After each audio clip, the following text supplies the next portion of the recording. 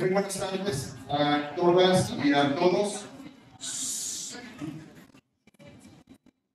Si me lo permiten, primeramente a solicitud de nuestras tres distinguidas panelistas y por el respeto que merece nuestra compañera y amiga Patricia Flores Osuna, eh, me han pedido un conducto para, por el fallecimiento de su señora madre, que si nos ponemos de pie y guardamos un minuto de silencio en honor a su querida madre, por favor.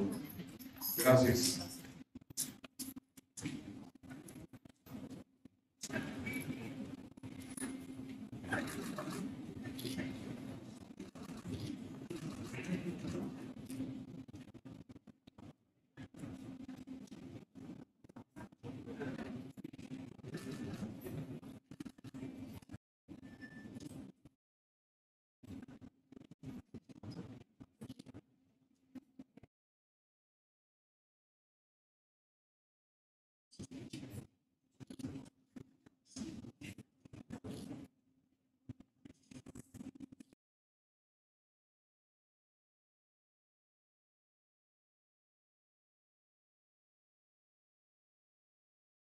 Muchísimas gracias. Pueden tomar asiento.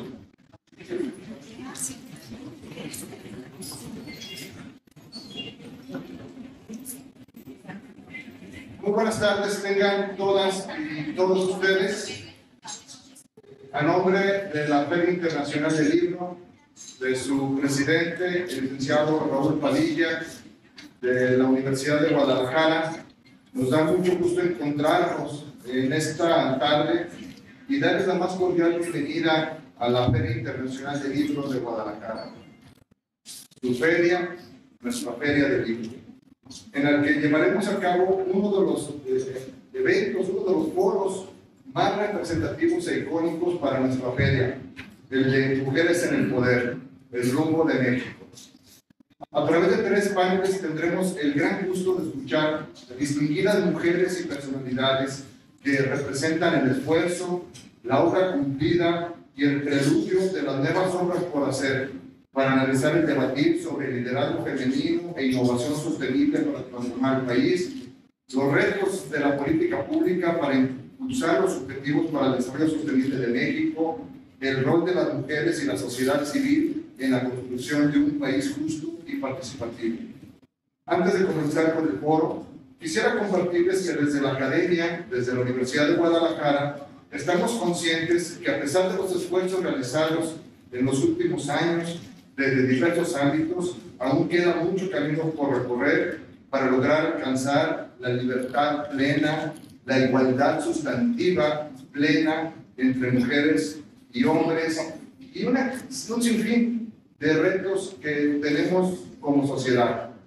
Mencionaré un dato rápidamente. Según el índice global de brecha de género del Fondo Económico Mundial, del Foro Económico Mundial, perdón, se estima que al ritmo actual la brecha de género global se cerrará en 52 años en Europa, en 61 años en América del Norte, incluyendo solamente Estados Unidos y Canadá, y en casi 69 años en América Latina y el Caribe. En todas las demás regiones del mundo tardará, siento decirlo, más de 100 años y no hacemos algo.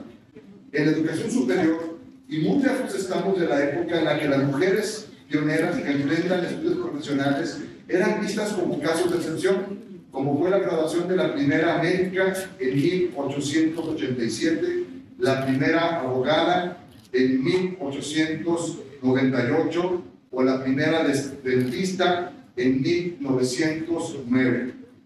Hoy en día la presencia de la mujer es ligeramente mayor en muchos espacios, sin embargo, no suficiente.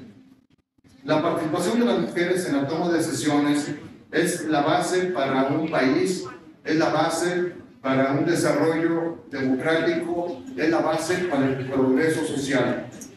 Por ello es que me da mucho gusto, a nombre de la Feria Internacional del Libro, dejar esta tarde a mujeres distinguidas desde la pluralidad, que han dedicado su vida su entrega al desarrollo democrático, al desarrollo de nuestro país y por eso, pues sin más, bienvenidas y bienvenidos y estaremos escuchándoles con todo el interés. Muy buenas tardes.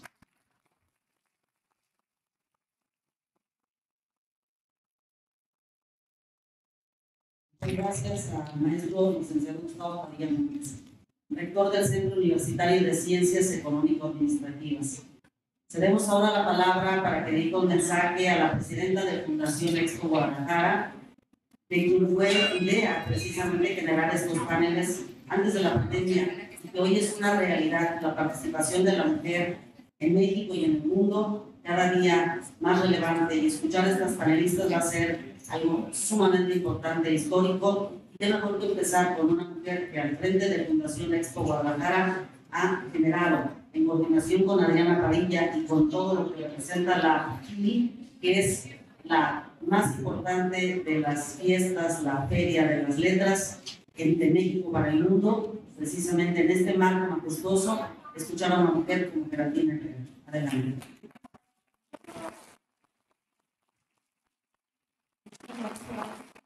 A todas y a todos, les saludo con gran entusiasmo y de manera muy especial a nuestras panelistas.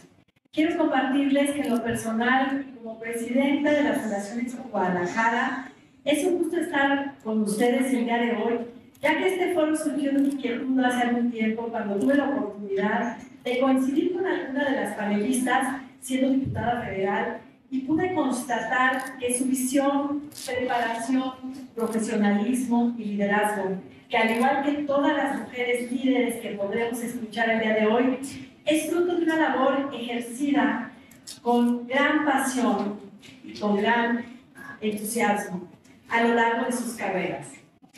Han llegado lejos por su arduo trabajo, por su capacidad y dedicación en los distintos ámbitos que representan por todo esto, es un honor que hoy nos acompañen. Muchas gracias.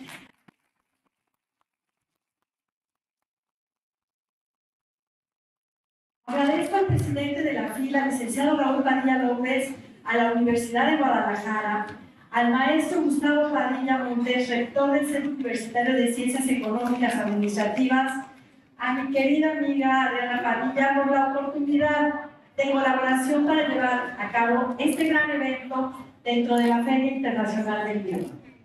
Fundación Expo Guadalajara es el corazón y el brazo social del recinto ferial más grande e importante de México y Latinoamérica, Expo Guadalajara, en el que promovemos el desarrollo social a través del apoyo y fortalecimiento a las organizaciones de la sociedad civil y por otro lado somos promotores de la cultura de la responsabilidad social en el Estado. Actualmente nos encaminamos para que todos los eventos que se realicen en el recinto sean sustentables con causa. Y aprovecho agradecerle a mi presidente de Expo Guadalajara, el licenciado Federico Díaz González, por su visión para el mismo al igual que a mi consejo a mi equipo, muchísimas gracias a todos. Con este evento queremos también contribuir a abrir conciencias, haciendo llegar a la ciudadanía un mensaje positivo sobre las oportunidades que tenemos para transformar a nuestro amado país. Desde la visión de grandes mujeres líderes, gracias por enriquecernos con su experiencia.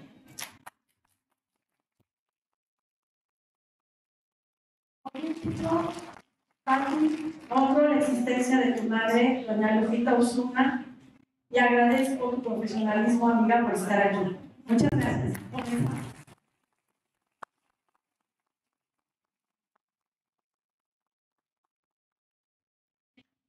No hay seres humanos solidarios, la vida es otra.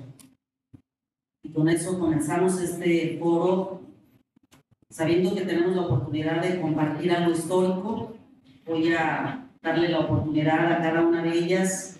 Tenemos espacios muy limitados, pero creo que es muy importante escucharlas a ustedes. Comienzo con Dulce María Sauri. Ella es una mujer que tengo la oportunidad de conocer hace muchos años, a cada una de las panelistas, afortunadamente, de entrevistarlas en muchas ocasiones Y recuerdo a José María Sáenz, siempre hermana, la primera gobernadora de Yucatán, su estado natal.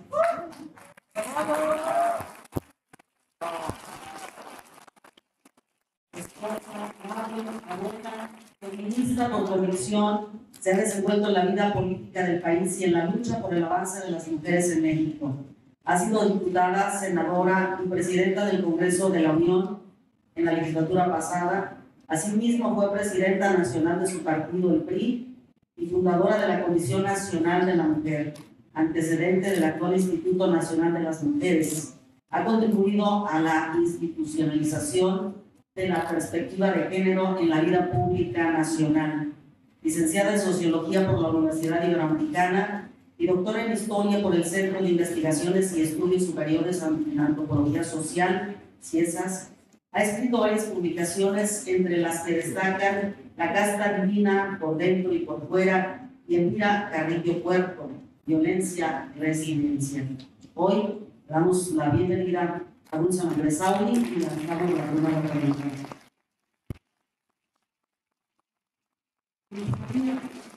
En varias ocasiones nos ha tocado a quienes hemos cubierto la nota política que tienen ustedes siempre la responsabilidad de rendir cuentas a la nación.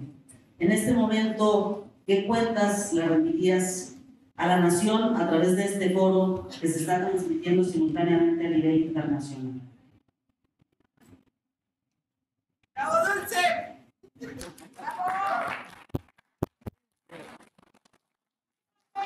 En cuanto a la participación de las mujeres y las niñas mexicanas en los procesos de toma de decisión en México, tenemos cuentas positivas y cuentas negativas.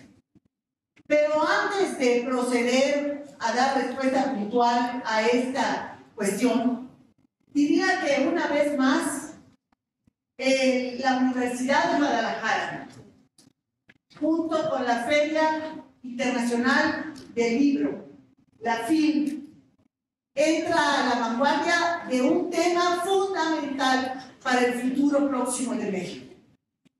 Y aquí, con mis compañeras, Amalia García Medina, Beatriz Paredes Rangel, que fuimos las tres gobernadoras de nuestros estados, en tiempos en que cuando el gobierno por parte de una mujer era verdaderamente excepcional, podemos hablar de lo positivo que se ha avanzado. Y quiero destacar que en esta casa, la casa de las y los universitarios, en esta Feria Internacional del Libro de Guadalajara, por primera vez asiste una presidenta de la Federación Universitaria de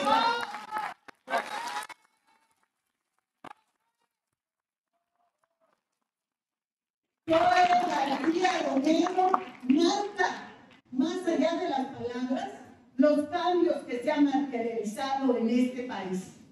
Cambios en que antes de 2021 solamente nueve mujeres habíamos sido gobernadoras de nuestros estados y jefa de gobierno de la Ciudad de México. Después de 2021, contando a la actual jefa de gobierno de la Ciudad de México, hay el mismo número de mujeres gobernadoras ejerciendo el cargo en este momento en el país.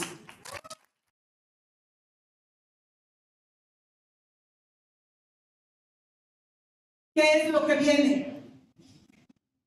Si las cuentas que podemos rendir con estos grandes trazos son la parte positiva. La negativa la dejo para comentarla en el siguiente turno. Pero ¿qué es lo que viene? Digámoslo con claridad, con decisión, con determinación. Lo que viene en 2024 es la posibilidad de una presidenta de la República. Y lo digo consciente de. Consciente de que hay una mujer en el movimiento que está actualmente en el gobierno, muy avanzada, principalmente en el corazón del jefe político de este movimiento, y que junto a mí hay otra mujer, Beatriz Paredes. Que hay...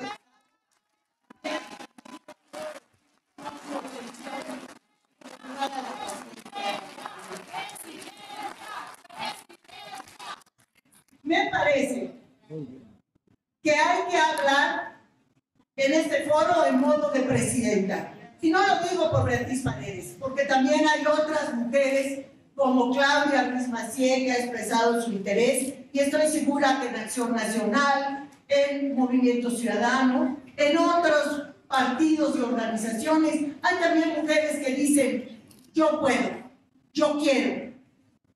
Nada más que el requisito fundamental es que sea una mujer independiente y autónoma. Son dos condiciones que la ciudadanía tendrá que observar en cualquier candidatura, pero muy particularmente en cuanto a las candidaturas de las mujeres. ¿Por qué las mujeres queremos ser reconocidas con capacidades para conducir los destinos de México?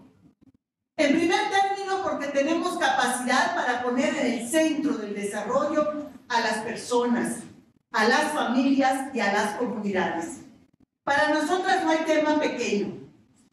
Todos son importantes cuando tienen que ver con el bienestar de las personas y de las familias. Porque las mujeres tenemos la posibilidad de una visión global, pero una acción local, como es indispensable en estos tiempos. Las mujeres podemos construir relaciones de confianza, restaurarlas donde se ha perdido. Tenemos capacidad para conducir conformando con consensos. Culturalmente las mujeres no estamos obligadas a imponer. Sabemos convencer, persistir y vencer. Y también las mujeres sabemos trabajar en restaurar la confianza. Este es el estilo de poder femenino la persuasión que rechaza la polarización social como mecanismo del poder político. Gracias. Gracias.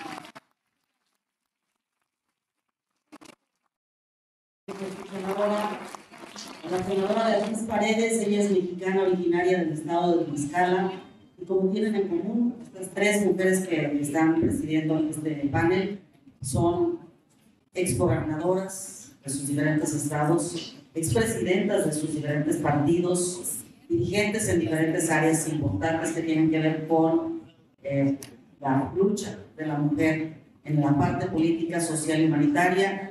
Ella ha sido gobernadora de su estado, diputada local, ha sido también senadora, actualmente senadora de la República, Beatriz Paredes, y presidente de la Comisión de Relaciones Exteriores de América Latina y el Caribe del Senado, integrante de la Comisión de Relaciones Exteriores de Agricultura, Ganadería, Pesca y Desarrollo Rural, de Educación, de Asuntos Fronterizos y Migratorios, de Medio Ambiente, Recursos Naturales y Cambio Climático, de Recursos Hidráulicos, de Seguridad Social, de Organismos Internacionales y de la Comisión Bicameral de Seguridad Nacional. En sus tareas partidistas, como decíamos, fue presidenta del Comité Ejecutivo Nacional del PRI presidenta de la Fundación Colosio, dirigente nacional de la Confederación Nacional Campesina. Escuchemos a la senadora Beatriz Paredes Rangel.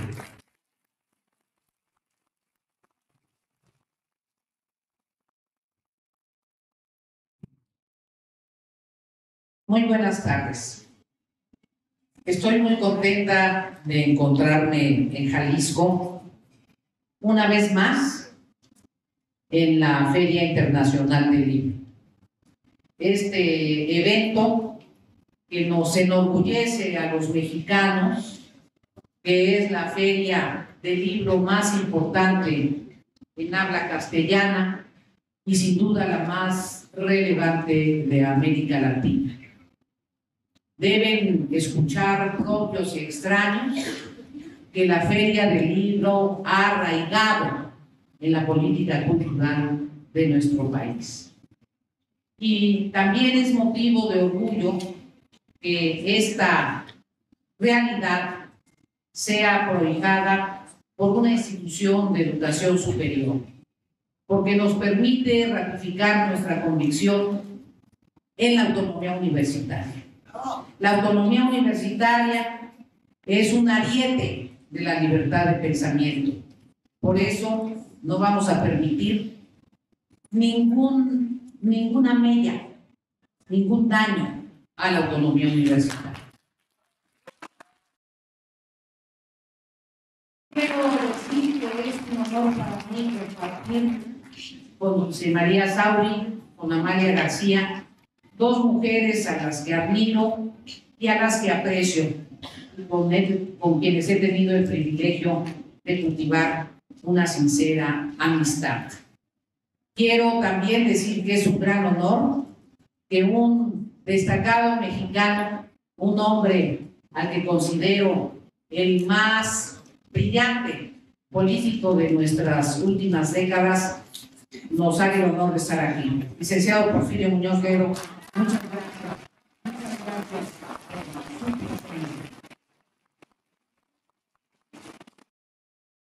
Quiero saludar a la ingeniera biomédica Zoe García Gómez. La ingeniera biomédica, para que vean que las mujeres estamos levantando el estandarte también en el área técnica. Y saludar a las destacadas ponentes del próximo panel, felicitando a Geraldina Herrera por esta iniciativa y por esta convocatoria.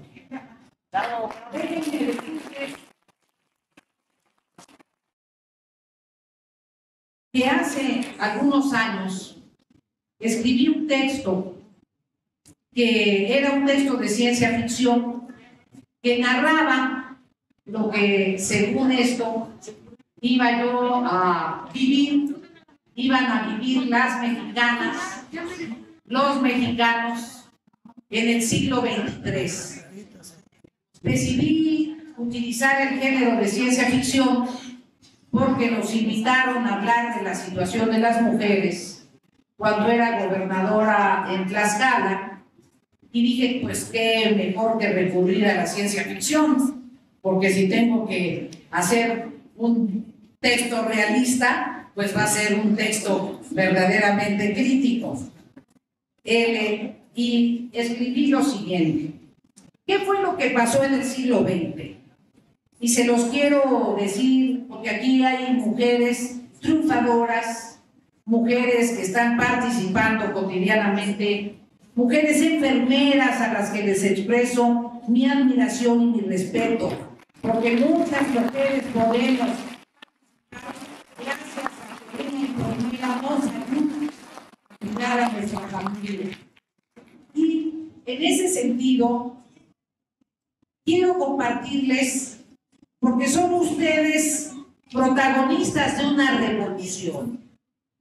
Y lo más triste es que no nos demos cuenta que somos protagonistas de una revolución. Tenemos que asumirlo. Es la revolución de la era del protagonismo de las mujeres. En ese sentido, ¿qué pasó en el siglo XX? La generalización del acceso a la educación y con ello la apropiación de la conciencia la incorporación masiva de las mujeres al trabajo y con ello la apropiación de la autosuficiencia, la posibilidad del acceso generalizado a los anticonceptivos que derivó en la desmitificación de la sexualidad y propició la apropiación de su cuerpo, la existencia del divorcio sin una connotación de estigma social que implicó la apropiación de la personalidad civil.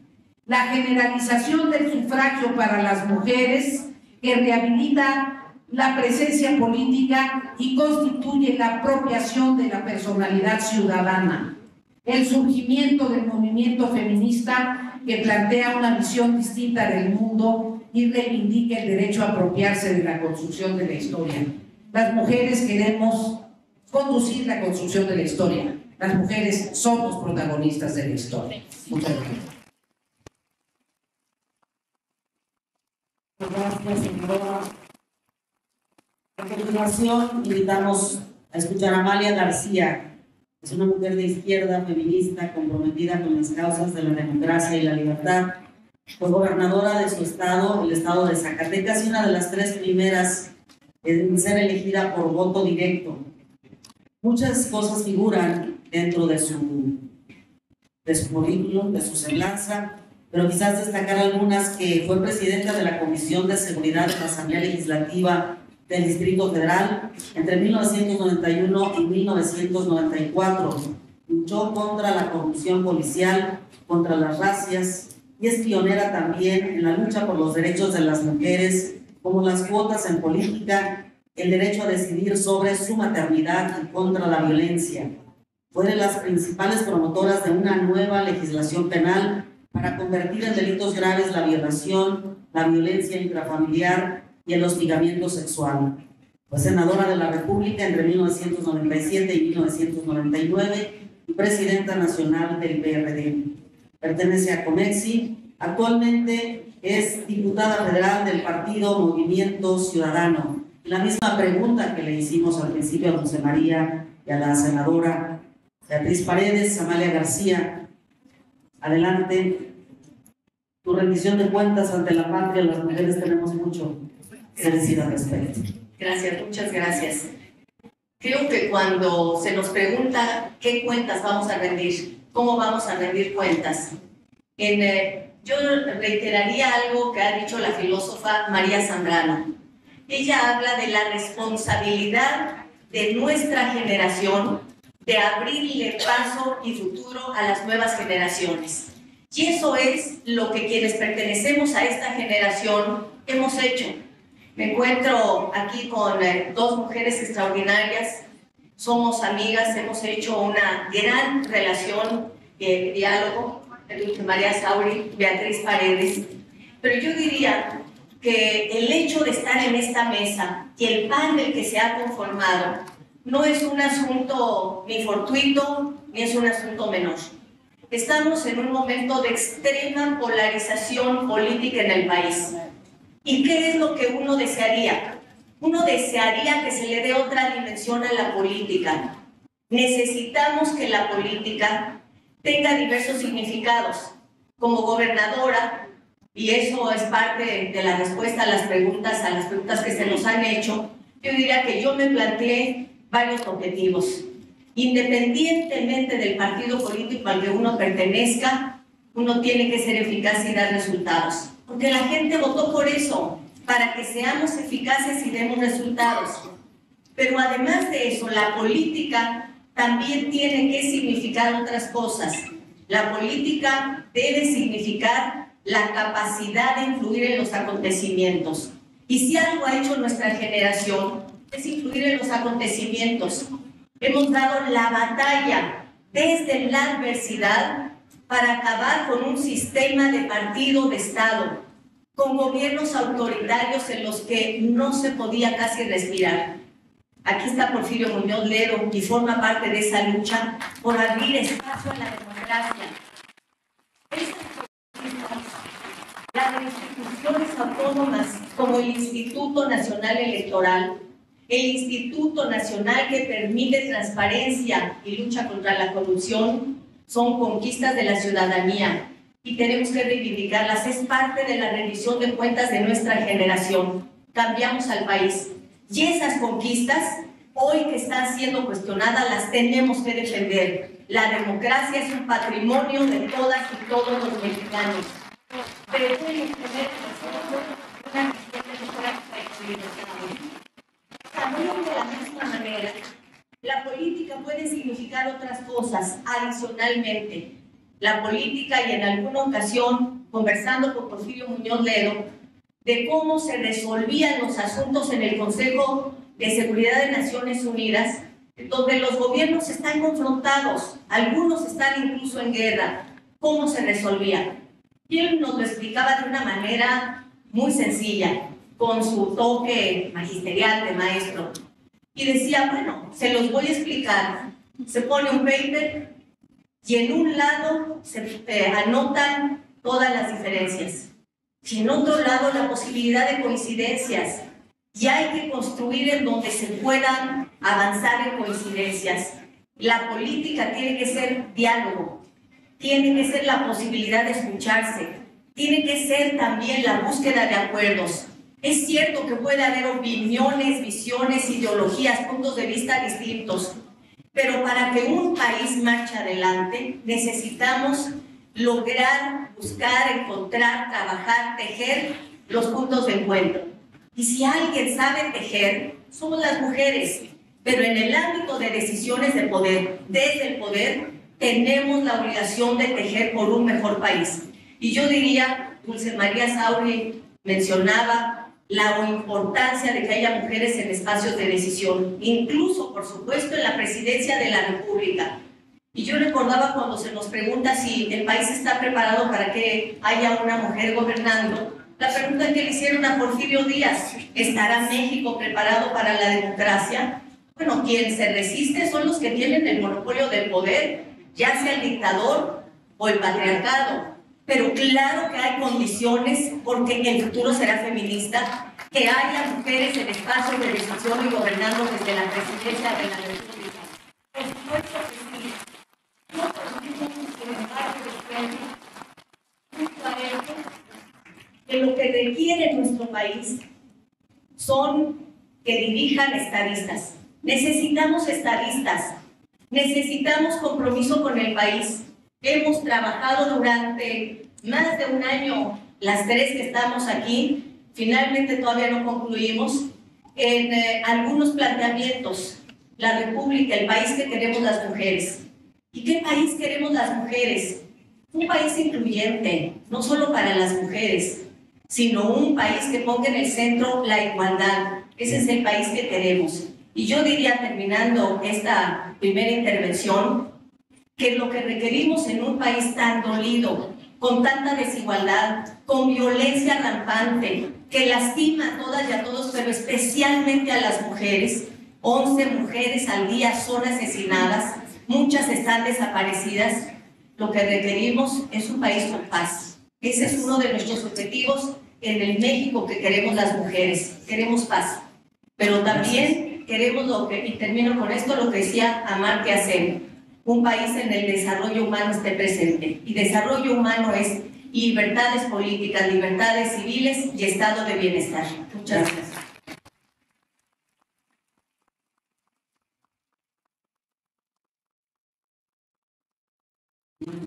Vamos a pasar a la segunda ronda de preguntas que son cuatro minutos para cada una y cerraremos en la tercera con cuatro minutos para cada una. Y la pregunta está en el aire, senadora Beatriz Paredes Rangel. ¿Por qué hasta este momento ser precandidata a la presidencia de la República Mexicana cuando la figura de una senadora como tú siempre ha estado en el aire la propuesta de que una mujer como tú pudiera ser presidenta de México? Adelante. Gracias. Gracias. Les confieso que no me esperaba para nada esa, esa. Miren, yo no soy una persona de puestos. Nunca he sido una persona de puestos. Soy una persona de misiones. La vida me ha llevado que con el propósito de transformar la realidad, he tenido oportunidades políticas excepcionales. Primero, por querer transformar la realidad del entorno campesino y agrario donde viví. Yo soy de origen tlaxcalteca, pero viví en una zona con comunidades indígenas otomíes. Y, me desgarró eh, la experiencia de, de, conocer la realidad de, la vida de los otomíes y de las otomíes. Entonces empecé a participar en el movimiento campesino que en Tlaxcala se halló con el movimiento estudiantil. Por eso ingresé a la Confederación Nacional Campesina, fui dirigente estudiantil muy joven eh, de la preparatoria y ahí nos aliamos y empecé a participar. Y esa representación y esa participación en la Confederación Nacional Campesina me llevó a ser diputada local, líder del Congreso local, diputada federal, presidente del Congreso de la Unión, subsecretaria de Reforma Agraria, pero mi propósito era transformar la realidad, no ser subsecretaria de Reforma Agraria, o no tener este puesto, o no tener el otro. El contexto y la circunstancia del país me llevó a ser candidata a gobernadora. El contexto y la circunstancia del país. No que yo fuera mejor o que yo fuera superior, era el contexto. Se daba que dejaba de ser gobernadora doña Griselda Álvarez, el sistema político había avanzado, etcétera, y tuve la circunstancia y fui candidata por Tlaxcala. A partir de allí empecé a participar para coadyuvar al desmantelamiento del régimen del partido hegemónico. Me tocó ser legislador en la primera legislatura de la reforma política. Me tocó participar cuando el gobierno sacó las manos del INE. Eh, fundamos el IFE, discutimos, estuvimos presentes en la discusión de la nueva reforma política. Me tocó ser por primera vez presidenta del PRI, la primera vez que hubo una elección hacia el interior, una elección directa. Yo creo en la democracia, soy una demócrata. Porque soy una demócrata, no acepto el retroceso democrático que pretenden instaurar en el país. Porque soy una demócrata, no comparto el asedio a los órganos autónomos. Porque soy una demócrata, rechazo la excesiva centralización y el olvido del federalismo. Porque soy una demócrata, decidí participar. Decidí participar porque me parece que la elección del 2024 es una elección en la que va a estar en juego la evolución democrática del país o el retroceso democrático del país. Entonces, estoy participando no por la misión de ser presidenta, sino por la convicción de defender la evolución democrática de México y revalorar el papel de la buena política. Yo no creo en una política de descalificaciones y de estigmatizaciones, porque ese es el antecedente inmediato de la política de persecuciones. Viva la libertad.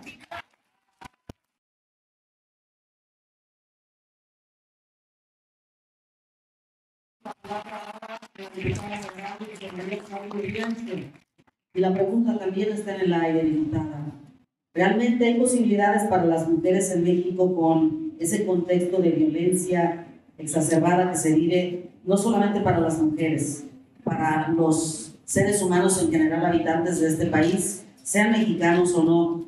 Las mujeres, en primer lugar, sufren esta violencia, no solo política, sino de todos los géneros.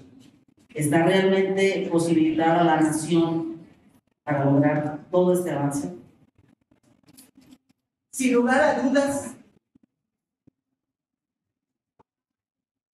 sin lugar a dudas, el reto central de México en su conjunto es lograr una vida libre de violencias para todas y para todos. Es indispensable que mujeres y hombres puedan vivir en paz. Y en el caso de las mujeres, muy especialmente, porque el cambio cultural que significa el reconocimiento de los derechos de las mujeres a la participación plena en todos los ámbitos de la vida colectiva representa un serio obstáculo que tiene que ser removido por la sociedad en su conjunto. Es un proceso en el que tenemos con mucha claridad los signos claros del desmantelamiento gradual del machismo y de la idea de que solamente los hombres pueden decidir y mandar y conducir el rumbo del país. Yo quiero decirles que en este marco me parece fundamental reconocer que hacia el 2024 requerimos una estrategia en que todas aquellas personas, organizaciones, partidos políticos que quieran dar un nuevo rumbo a México se unan a pesar de sus diferencias y sus muy posiblemente antagonismos, legítimos o no. La razón es muy sencilla y lo he expresado con mucha claridad tanto a María García como a Beatriz Paredes. No tenemos tiempo para nuevamente esperar, confiados en que se hará un milagro para que la conducción de México cambie hacia donde todas y todos la queremos y exigimos. Hay que trabajarlo. Veía a Porfirio Muñoz Ledo, al cual le tengo un enorme aprecio y reconocimiento por sus largas luchas sociales y su valor permanente para enfrentar al poder. Y me acordaba, y por eso me atrevo a hacer la propuesta, ¿qué tal si pensamos en el Frente Democrático Nacional del siglo XXI de su tercera década. Un frente democrático que se dedique en los próximos meses a construir un proyecto de nación. No basta con decir que no queremos el rumbo que sigue el país. No basta con señalar que México está descuidado. Está descuidado en su territorio. Está descuidado en su población. Está descuidado en su gobierno. Es necesario hacer la propuesta de a dónde queremos conducir a México. Más que las personas que son sin lugar a dudas muy relevantes, interesa el proyecto. Estamos en tiempos de proyecto, en tiempos de encontrar lo que Amalia García decía con mucha propiedad, todo aquello en lo que coincidimos y encapsular las diferencias para resolverlas en un futuro, ciertamente.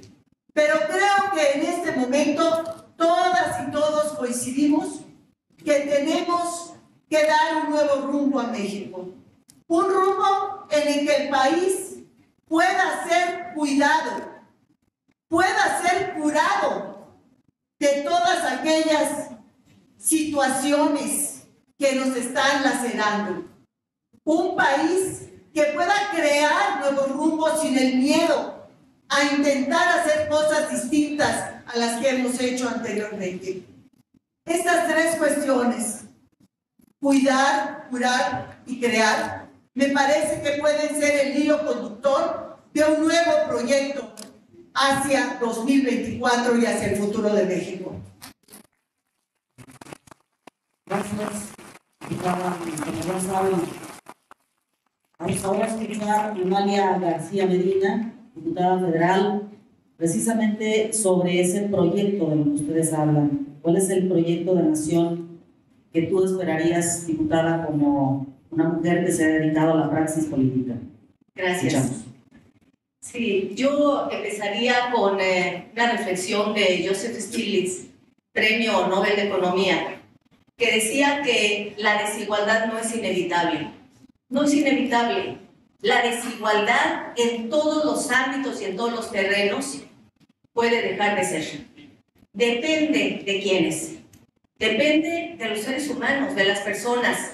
Somos las personas los aceleradores de la historia, los que podemos cambiar la vida de las personas.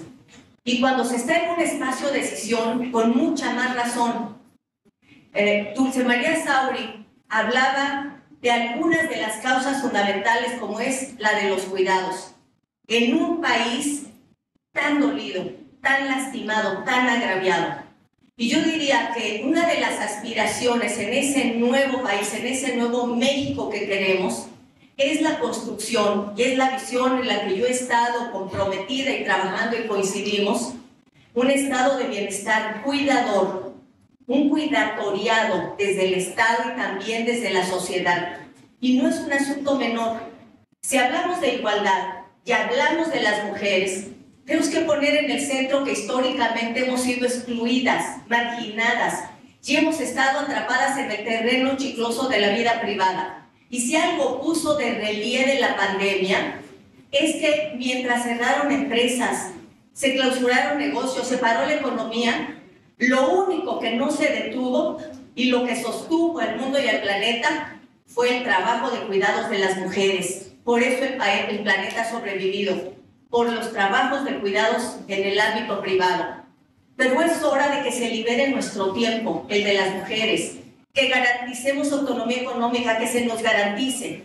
Y un estado de bienestar cuidador tiene que hacerse cargo de esas tareas con un modelo que no sea de una nueva política social, sino la gran política social que cambie nuestra vida de las mujeres y de los hombres. Un Estado cuidador que se haga cargo de los cuidados y también, por supuesto, que abarque la seguridad, porque requerimos paz, porque requerimos que nuestro desarrollo y nuestra vida esté sustentada. Yo lo sintetizaría, además, en una frase que hemos escuchado, en una aspiración más bien, queremos y necesitamos construir un Estado democrático, social, de derecho. democrático, social, con justicia social y de derecho, en donde las reglas que nos pongamos como sociedad permitan que todo mundo viva en paz. Eso es lo que requerimos. Muchas gracias. Gracias. Dar la bienvenida también a Marisol Schultz, directora de la Feria Internacional del Libro de Guadalajara.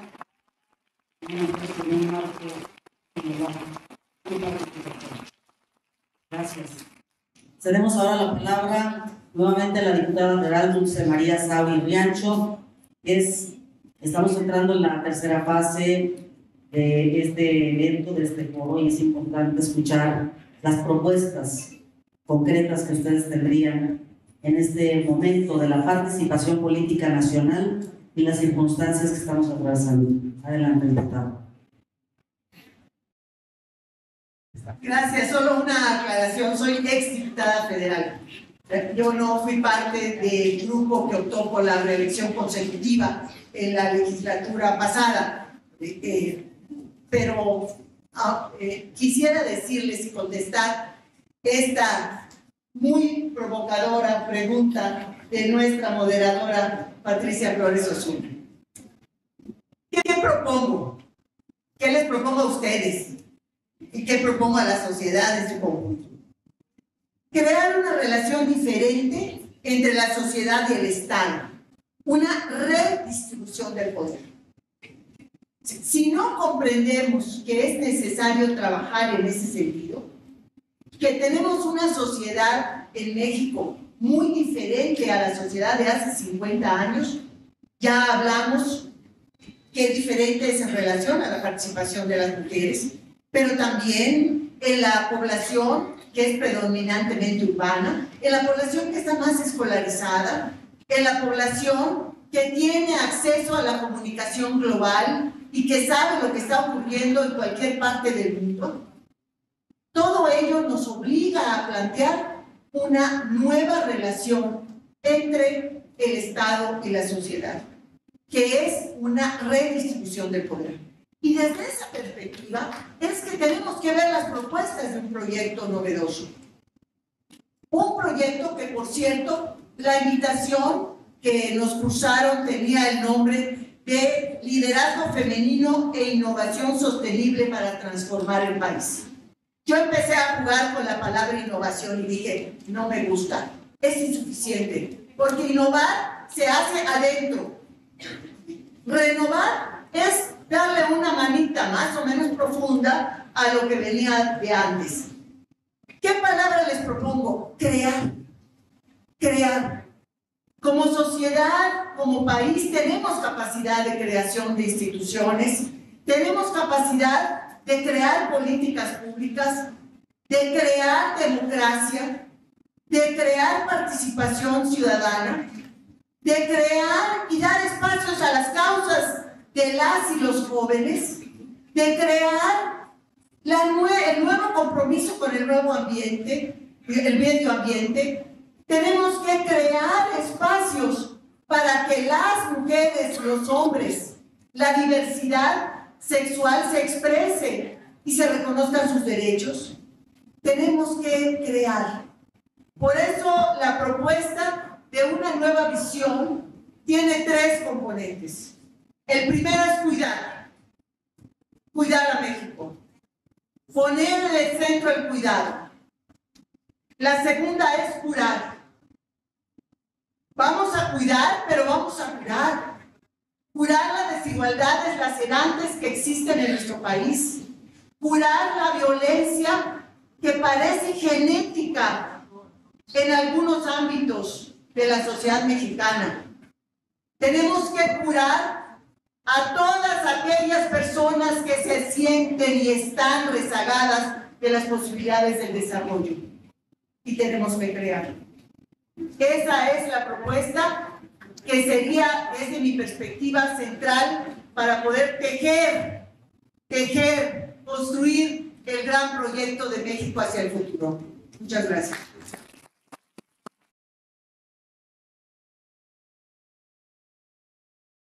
Gracias. María Sauri, y ahora cedemos la palabra a Amalia García en este proceso ya de cierre para concluir con la senadora Beatriz Paredes en un momento. Ya está con nosotros también eh, Margarita Zavala con todas nuestras otras ponentes.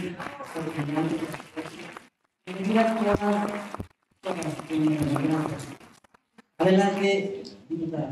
Gracias. Coincido con Dulce María Sauri en que la sociedad tiene que participar. ¿Qué es lo que Bobbio ponía en el centro? En lo que se refiere a la evolución democrática, la concepción democrática en el mundo. Decía, se tiene que pasar de la condición de súbdito a ciudadano. ¿Y cómo pasar de la condición de súbdito a ciudadano, a ciudadana? Participando de las decisiones. Y no se trata solamente del acto de ir a votar. Se trata de una sociedad democrática que cauce a la participación permanente y cotidiana de la sociedad para que influya en su rumbo. El otro elemento sustancial es el de la igualdad. Si no hay igualdad de derechos, no de concesiones, no de prebendas, no, sino de derechos, no podemos construir una nueva sociedad. Democracia con participación cotidiana, no de súbditos, sino de ciudadanas y ciudadanos. Igualdad con justicia y Estado de Derecho son fundamentales. Por eso, la visión en la que yo me inscribo, en la que he venido participando, y sé que tenemos puntos comunicantes, vasos comunicantes, es una visión socialdemócrata de futuro para el país que ponga en el centro la democracia, también la justicia, la igualdad y el Estado de Derecho. Y ahí no podría haber una nueva nación si no estamos presentes las mujeres en primera persona y enfrentando las brutales y terribles violencias que nos siguen acosando. Acabamos de pasar una fecha simbólica a nivel internacional que es el 25 de noviembre, el Día Internacional contra la Violencia hacia las Mujeres. Pero este país nuestro sigue herido, sigue sangrando por la violencia contra las mujeres y las niñas. Y yo de verdad hago votos porque este evento tan significativo, a Geraldina Herrera, mi reconocimiento por haber convocado a tantas mujeres, a la Fundación de la a pero no podríamos terminar este evento sin decir con toda claridad que no habrá una nueva nación hasta que las mujeres y las niñas estemos seguras y en paz. Hasta que ninguna niña ni mujer sea víctima de desapariciones, de feminicidios, de violencia brutal cotidiana, en pensado de la Y por eso lo que requerimos es transformar la vida privada y la vida pública. La verdadera revolución de la humanidad es aquella que ponga en el centro los derechos de las mujeres y las niñas. Muchas gracias. Gracias. En este momento, cuando me dieron un minuto de silencio por el fallecimiento de mi mamá, que fue el viernes, y el sábado pues estuvimos con ella y el domingo vemos en familia, pues es un dolor muy fuerte para quienes han tenido esa circunstancia de perder a su mamá para mí representa mucho el que a iniciativa de la senadora Jorge Paredes y de estas dos mujeres hayan decidido tomar ese minuto de silencio. Y eso me dice mucho de lo que representa el valor de la mujer, de la unidad, de la fuerza, de la fortaleza. Yo soy como periodista una mujer que me ha dedicado más de 40 años a esto y admiro profundamente a las personas que son solidarias, que son humanas, que saben reconocer el sentimiento de vulnerabilidad que los demás podemos tener. Por eso quiero un aplauso especial para estas mujeres. Muy agradecida. He tenido la oportunidad de trabajar y platicar con todas las ponentes que están en la misma línea. Muchas gracias. Y cedemos ahora para cerrar este panel a la senadora Beatriz Paredes la palabra de ese proyecto de nación, de esa propuesta de cómo está México desde su óptica en esta circunstancia. Adelante, senador. Probablemente las mujeres que están aquí esperaban otro tipo de conferencia. otro tipo de panel, donde habláramos de los temas de equidad de género y de las prioridades que desde una perspectiva de equidad de género eh, tenemos tres políticas feministas. Pero invitaron a tres exgobernadoras, a tres exsenadoras y a tres mujeres que pretendemos tener una visión de Estado. Yo lo primero que esperaría es un gobierno con visión de Estado. Un gobierno donde quienes ejerzan el gobierno crean en el Estado de Derecho y sean capaces de que el Estado de Derecho sea vigente. Un gobierno con una capacidad, bien lo dijo José María Sauri, creativa, verdaderamente transformadora de la realidad mexicana. ¿Saben por qué? Porque no nos queda otra. Porque si no, el país no va a entrar de lleno al siglo XXI. Porque hay una revolución tecnológica que está transformando todos los rangos de la realidad. Y no podemos condenar a nuestros jóvenes a no concursar su realidad en el siglo XXI. Y eso supone una profunda transformación del sistema educativo y respaldar la educación superior para que los jóvenes tengan la mejor formación posible y encuentren oportunidades de empleo. Si no se trata de apapachar a la inversión porque tenga uno una visión capitalista eh, atrasada, se trata de que haya inversión para que haya empleo, para que los mexicanos se puedan quedar en México, para que aprovechemos todo nuestro potencial con una visión económica, social, socialdemócrata, como bien dijo Amalia García. Yo soy federalista. Creo en las regiones, creo en los estados, creo en los municipios. Es una convicción profunda, una absoluta transformación del modo de gobernar a partir de un federalismo vigente y no solo declarativo. Creo en la participación social, vengo de un movimiento social, el movimiento campesino. Me parece que es esencial, como aquí ya se dijo, que haya espacios verdaderos de asunción de la toma de decisiones en un esquema de planeación genuinamente democrática. Comprendo la visión geográfica, geopolítica de nuestro país pertenecemos a América del Norte y debemos aprovechar esa circunstancia. Culturalmente somos de América Latina y tenemos que retomar el rol protagónico en esa región. Estamos conectados con Asia, tenemos que impulsar el desarrollo de las actividades que tenemos olvidadas como la pesca, teniendo enormes litorales. Voy a establecer una nueva Secretaría de Recursos Hidráulicos, porque el tema del agua es crucial es crucial y no le hemos dado importancia y no hemos dinero desde hace mucho. Voy a hacer una gran reforma presupuestal para que toda la ciudadanía sepa en qué se gasta el dinero, que haya verdadera transparencia y que los presupuestos lleguen a tiempo. Y en el tema más lacerante, en el de las heridas abiertas, en el que nos hace sangrar, en el que tenemos que curar, en el tema de la violencia, firmeza, determinación, conocimiento, policía civil y planteamiento federalista. México es grande. México tiene a los mexicanos. En Jalisco ustedes han tenido gobernantes del PAN, gobernantes del PRI, gobernantes de Movimiento Ciudadano. Ustedes saben utilizar su voto como un instrumento de la democracia. México tiene que garantizar la democracia. No podemos tener riesgos de retroceso y por eso el 2024 es un encuentro con la historia, o futuro o ancleados en el pasado. Gracias. Muchas gracias. Gracias a estas tres distinguidas panelistas, Amalia Dolores García, Dulce María Sauri Beatriz Paredes Rangel, en esta participación, liderazgo femenino e innovación sostenible para transformar al país el foro Mujeres en el Poder, el rumbo de México. Y como los tiempos apremian, hay dos cosas que queremos apresurar antes de hacer el cambio con las siguientes panelistas.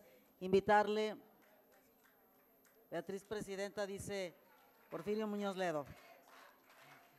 Bien. Vamos a invitar al maestro Gustavo Padilla Montes y a Geraldina Herrera a que suban al foro para la foto oficial.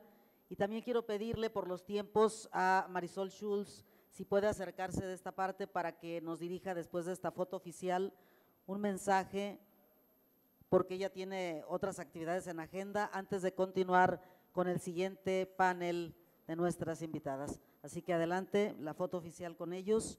Marisol Schulz, si gustas acá estar ah, presente para cederte.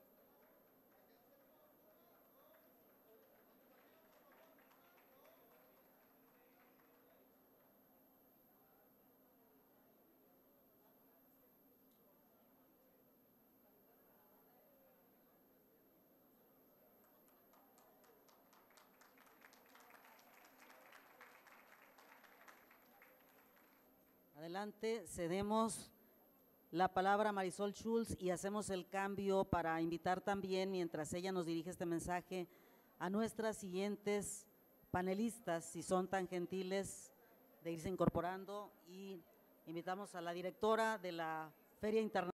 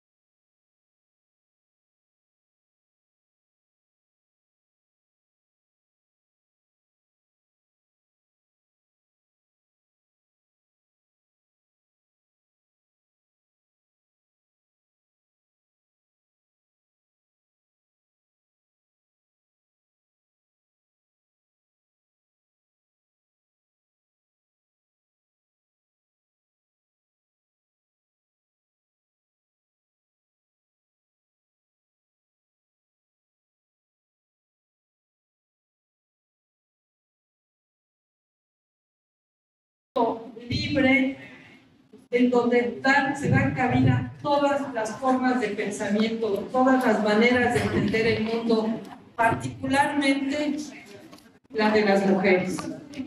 Celebro que mujeres que han tenido puestos de responsabilidad, se les han dado puestos de responsabilidad civil, ciudadana, sean las que nos den estos mensajes. Tenía preparado un discurso, pero les quiero comentar que se han dicho temas temas fundamentales, se han dado conceptos tan fundamentales que no quiero caer en ningún lugar común. Simplemente decir que me siento muy orgullosa de cada una de las personas que acaban, de cada una de las mujeres que acaban de hablar y que estoy completamente segura que será lo mismo en el panel que a continuación vamos a presenciar. Agradezco a cada una de las mujeres, los hombres también que organizaron este foro que es uno de los 62 foros de Film Pensamiento que se organizan en esta feria. Como ustedes saben, es una feria que tiene como eje central la literatura, pero no solamente eso. Es una feria de las ideas, de las culturas, de los temas que nos aquejan como sociedad, de todo aquello que nos impacta nacionalmente e internacionalmente. Así que nuevamente agradezco a cada una de las personas que nos acompañan ahora y les doy la bienvenida a la Feria Internacional del Libro de Guadalajara, que es de todos y hay que defenderla todos contra todos.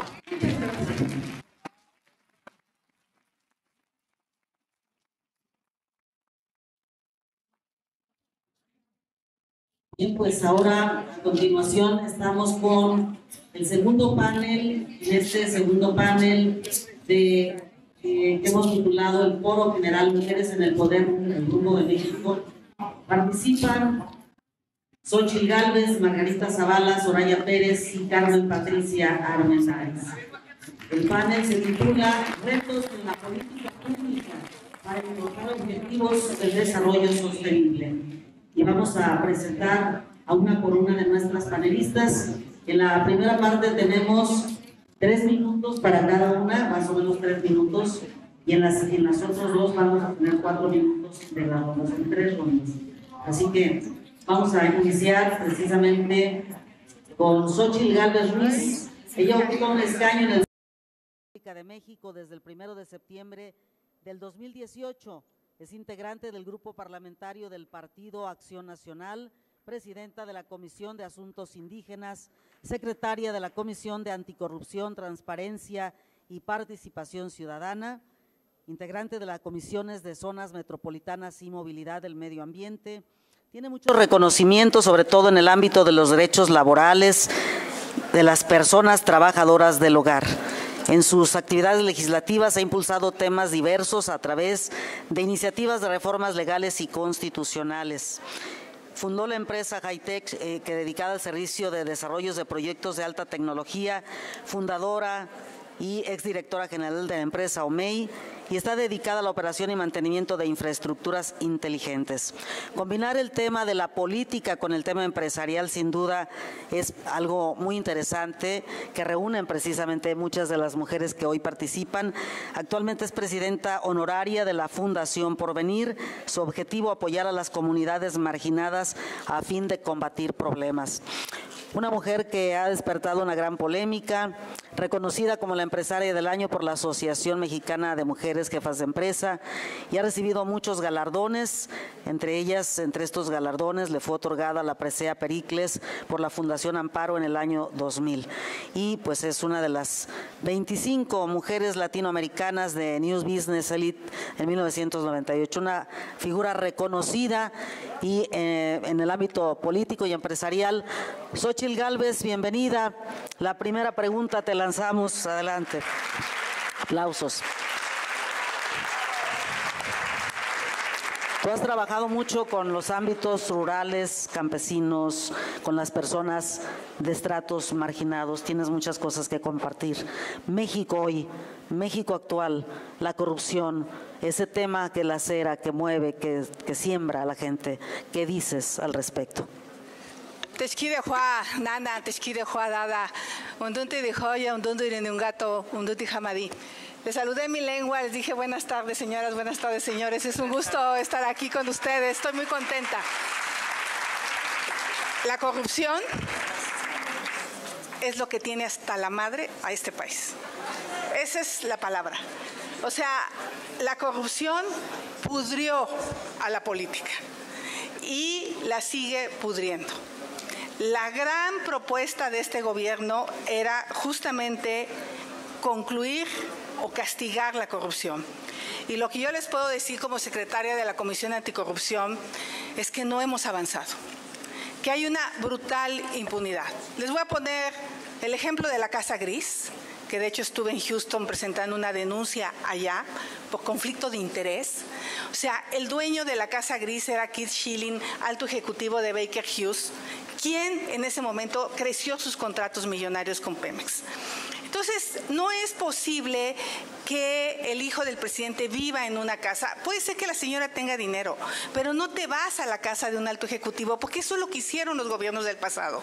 O sea, los gobiernos del pasado le deben a este país. Y si no entendemos por qué estamos donde estamos, por qué llegamos hasta aquí, porque hay una gran desesperanza. Y no se confundan con la marcha del día de ayer.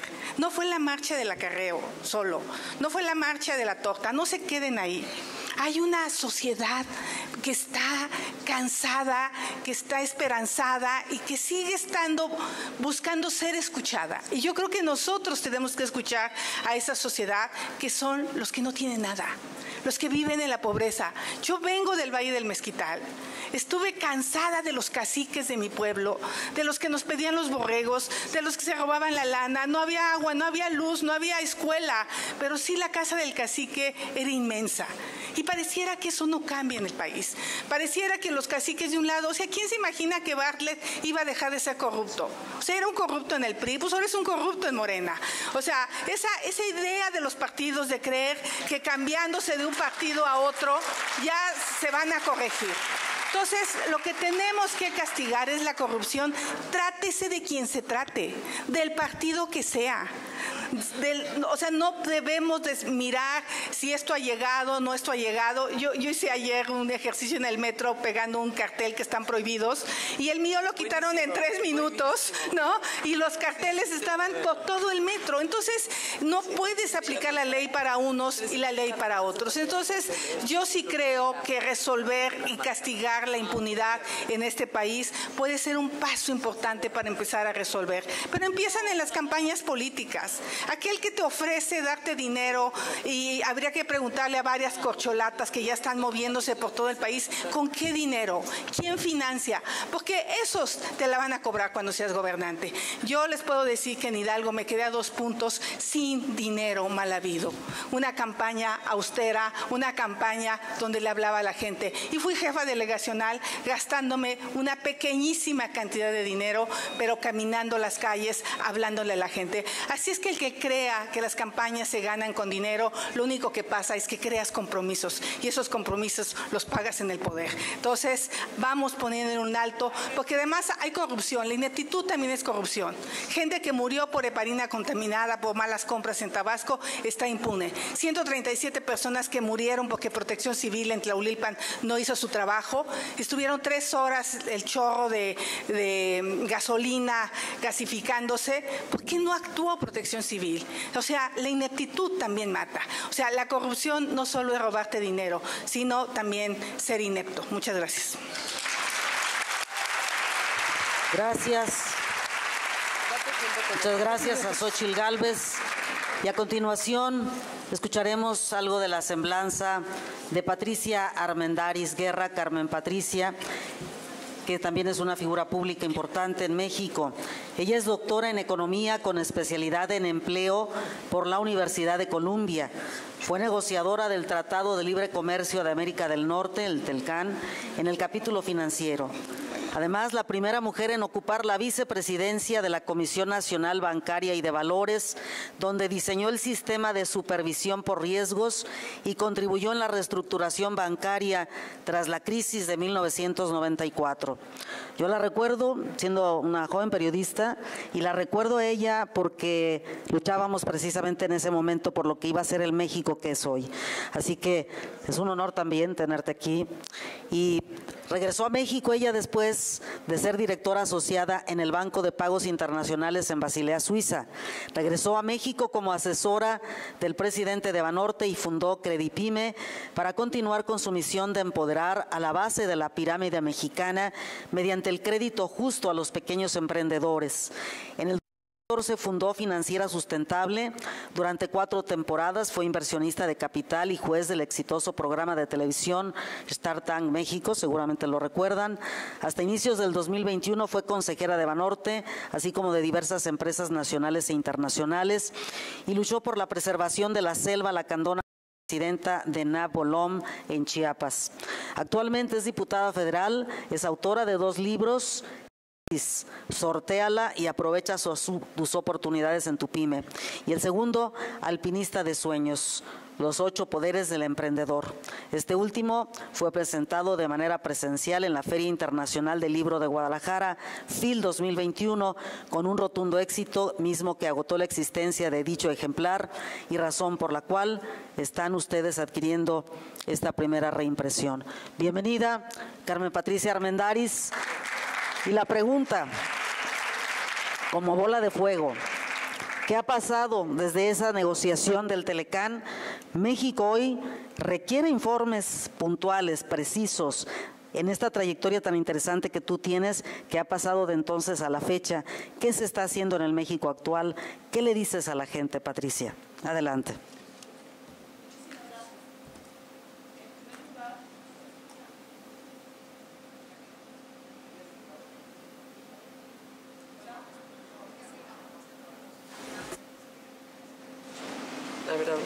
Hola.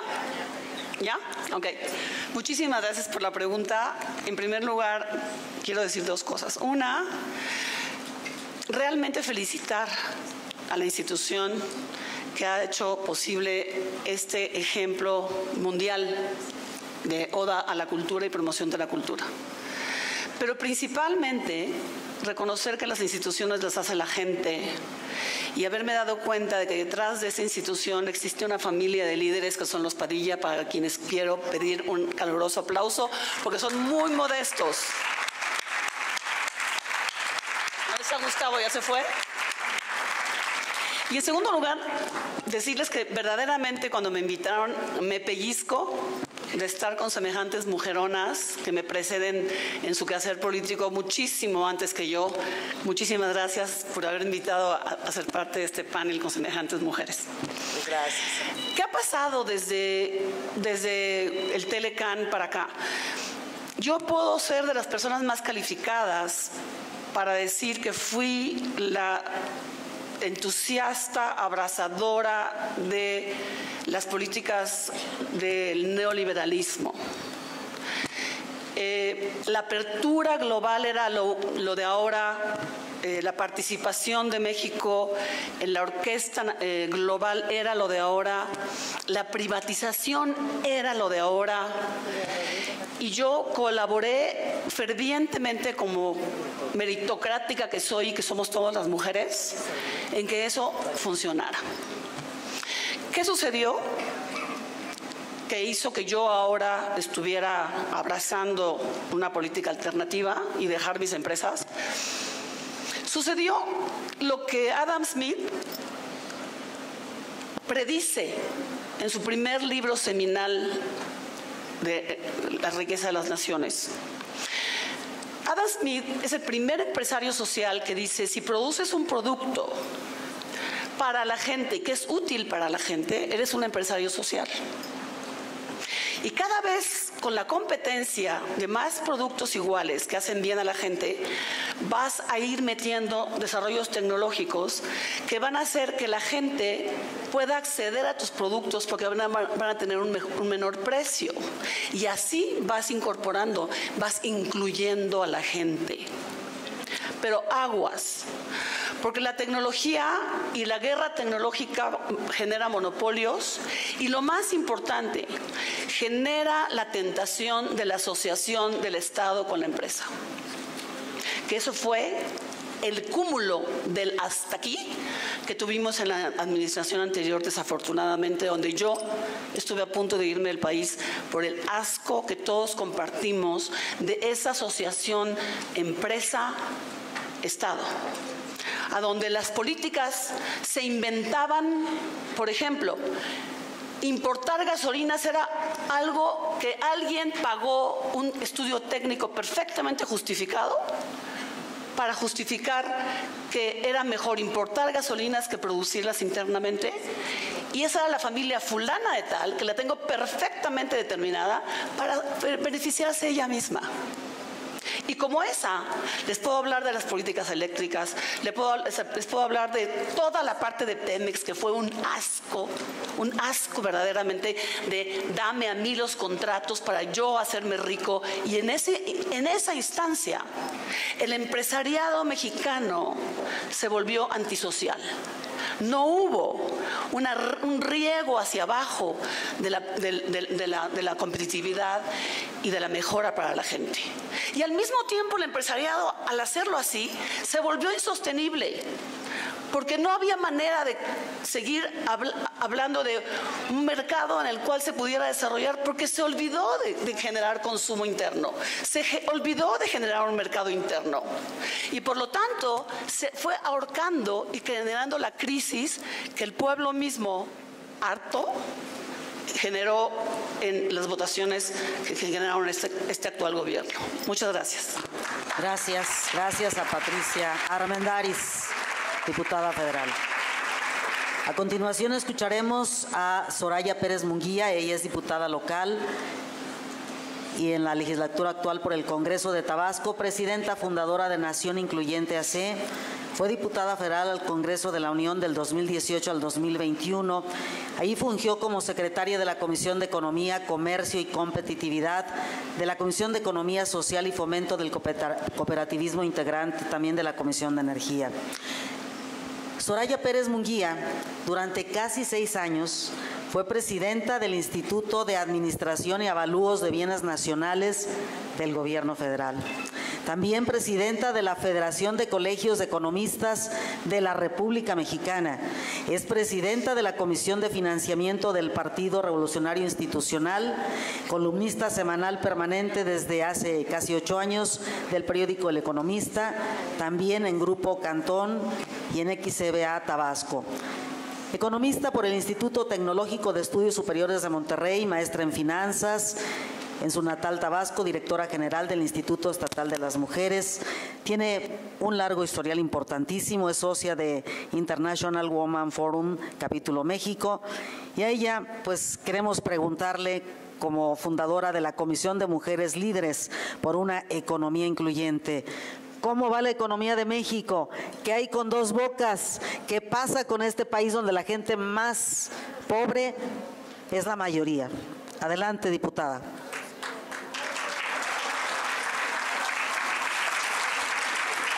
Muchísimas gracias, Pati. Antes que nada, quiero agradecerle a mi querida amiga Geraldine Herrera por la invitación a este importante evento de mujeres, por su trabajo al frente de la Fundación de la Expo Guadalajara, que coadyuva padrísimo en el evento, uno de los eventos más importantes que tenemos en el país, que es esta Feria Internacional de, de Libro.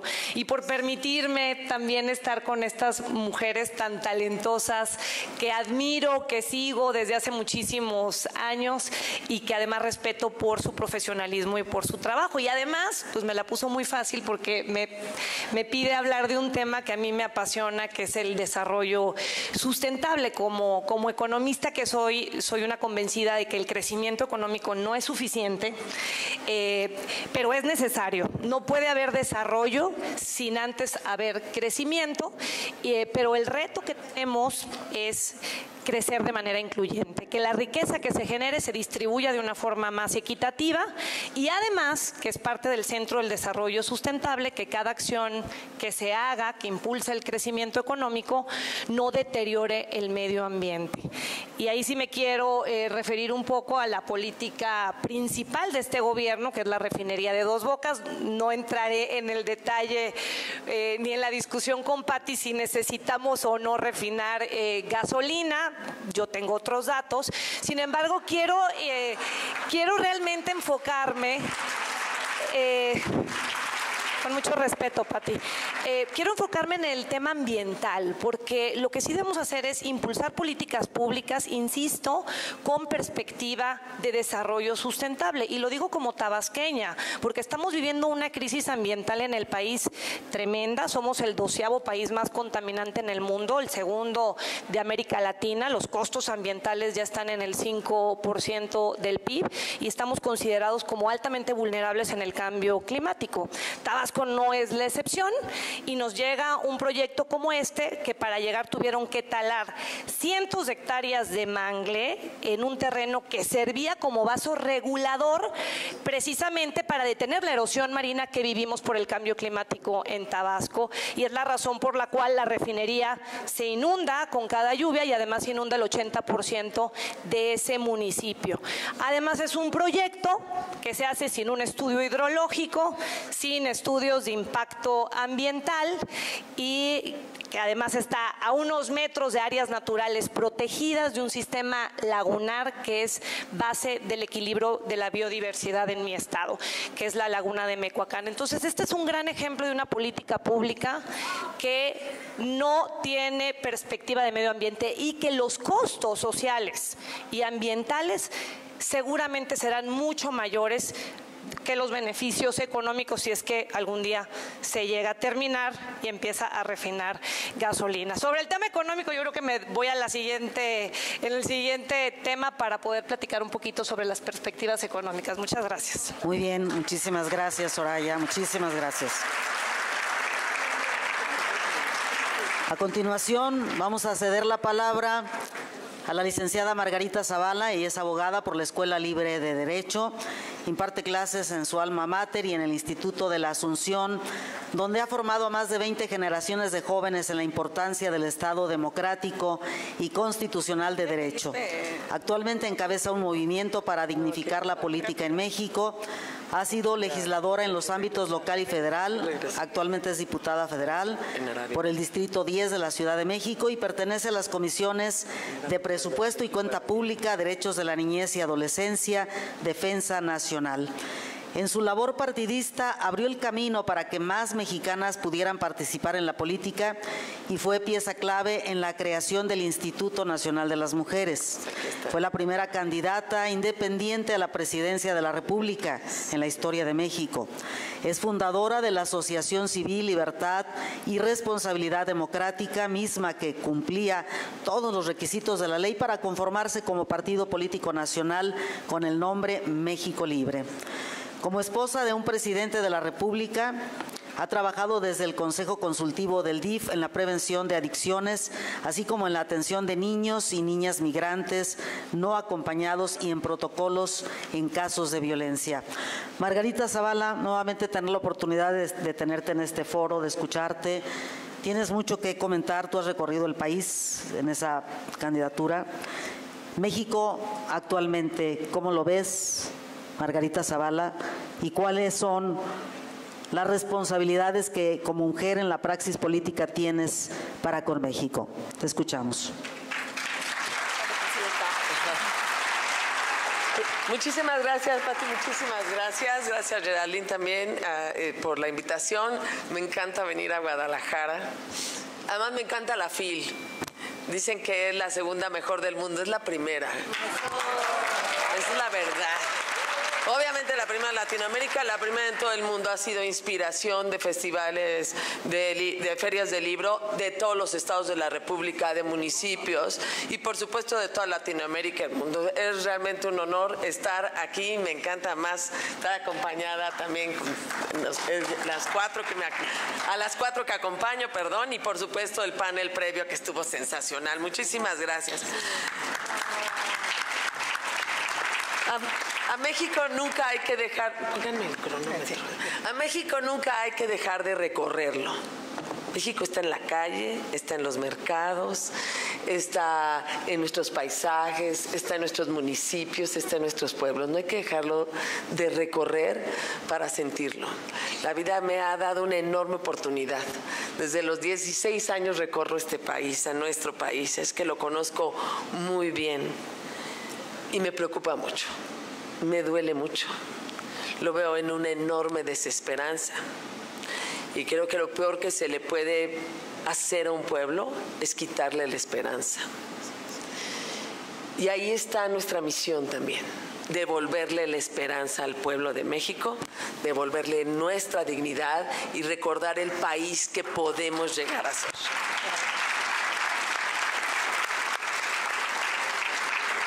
Hablaría de, primero, la pobreza.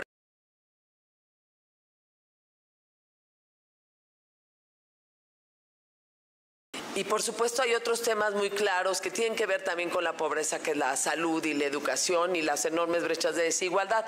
De hecho, el título, o sea, no han venido esos temas, pero pues es lo que nos está preguntando Patricia los objetivos de desarrollo sustentable, obviamente, y la pobreza es el primer tema. Y yo el otro día lo comentaba, la pobreza no solo es carencia material, lo decía un jesuita extraordinario, John Sobrino. No es, un, no es solo la carencia material, sino es esa a otros para la vida. Por eso es tan importante las oportunidades, por eso no basta la transferencia directa. Y se lo decía yo a la secretaria de Bienestar, el problema no es la transferencia directa de dinero, todos lo hemos aprobado y, a mí me parece muy bien. El problema es que la única política social sea el mecanismo de transferencia directa, porque lo que necesitamos es el desarrollo frente a la pobreza, hay que sacar de la pobreza, no divinizarla, no administrarla, no mantenerla, sino sacar a la gente de la pobreza. Y ese es el reto que tenemos todos en todo el país. Y bueno, ese es uno de los temas. Trataré también los de economía y de seguridad en el transcurso de este panel. Y ahí está nuestro reto. Y como mujer conocemos mucho más de lo que imaginamos.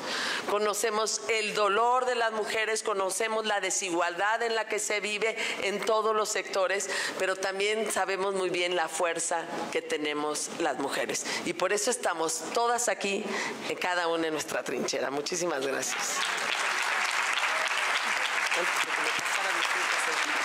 Muchas gracias, Margarita Zavala. Nuevamente regresamos la palabra a la diputada local Soraya Pérez Munguía del Congreso del Estado de Tabasco para escuchar precisamente desde la perspectiva económica los retos que actualmente existen en México, cómo están trabajando ustedes. Hablabas de dos bocas y hablabas de la refinería y hablabas de esa importancia que los mexicanos nos preguntamos. ¿Qué le dices a este foro? Y estamos transmitiendo a nivel mundial, así que lo que se diga aquí será escuchado por millones de personas. Adelante. Muchas gracias, Patti. Escuchaba ayer al, presidente reiterar el compromiso de crecer al 3.5%. Yo les puedo decir que no hay ningún organismo internacional, ni nacional, ni ninguna encuesta del Banco de México que prevea un crecimiento como tal.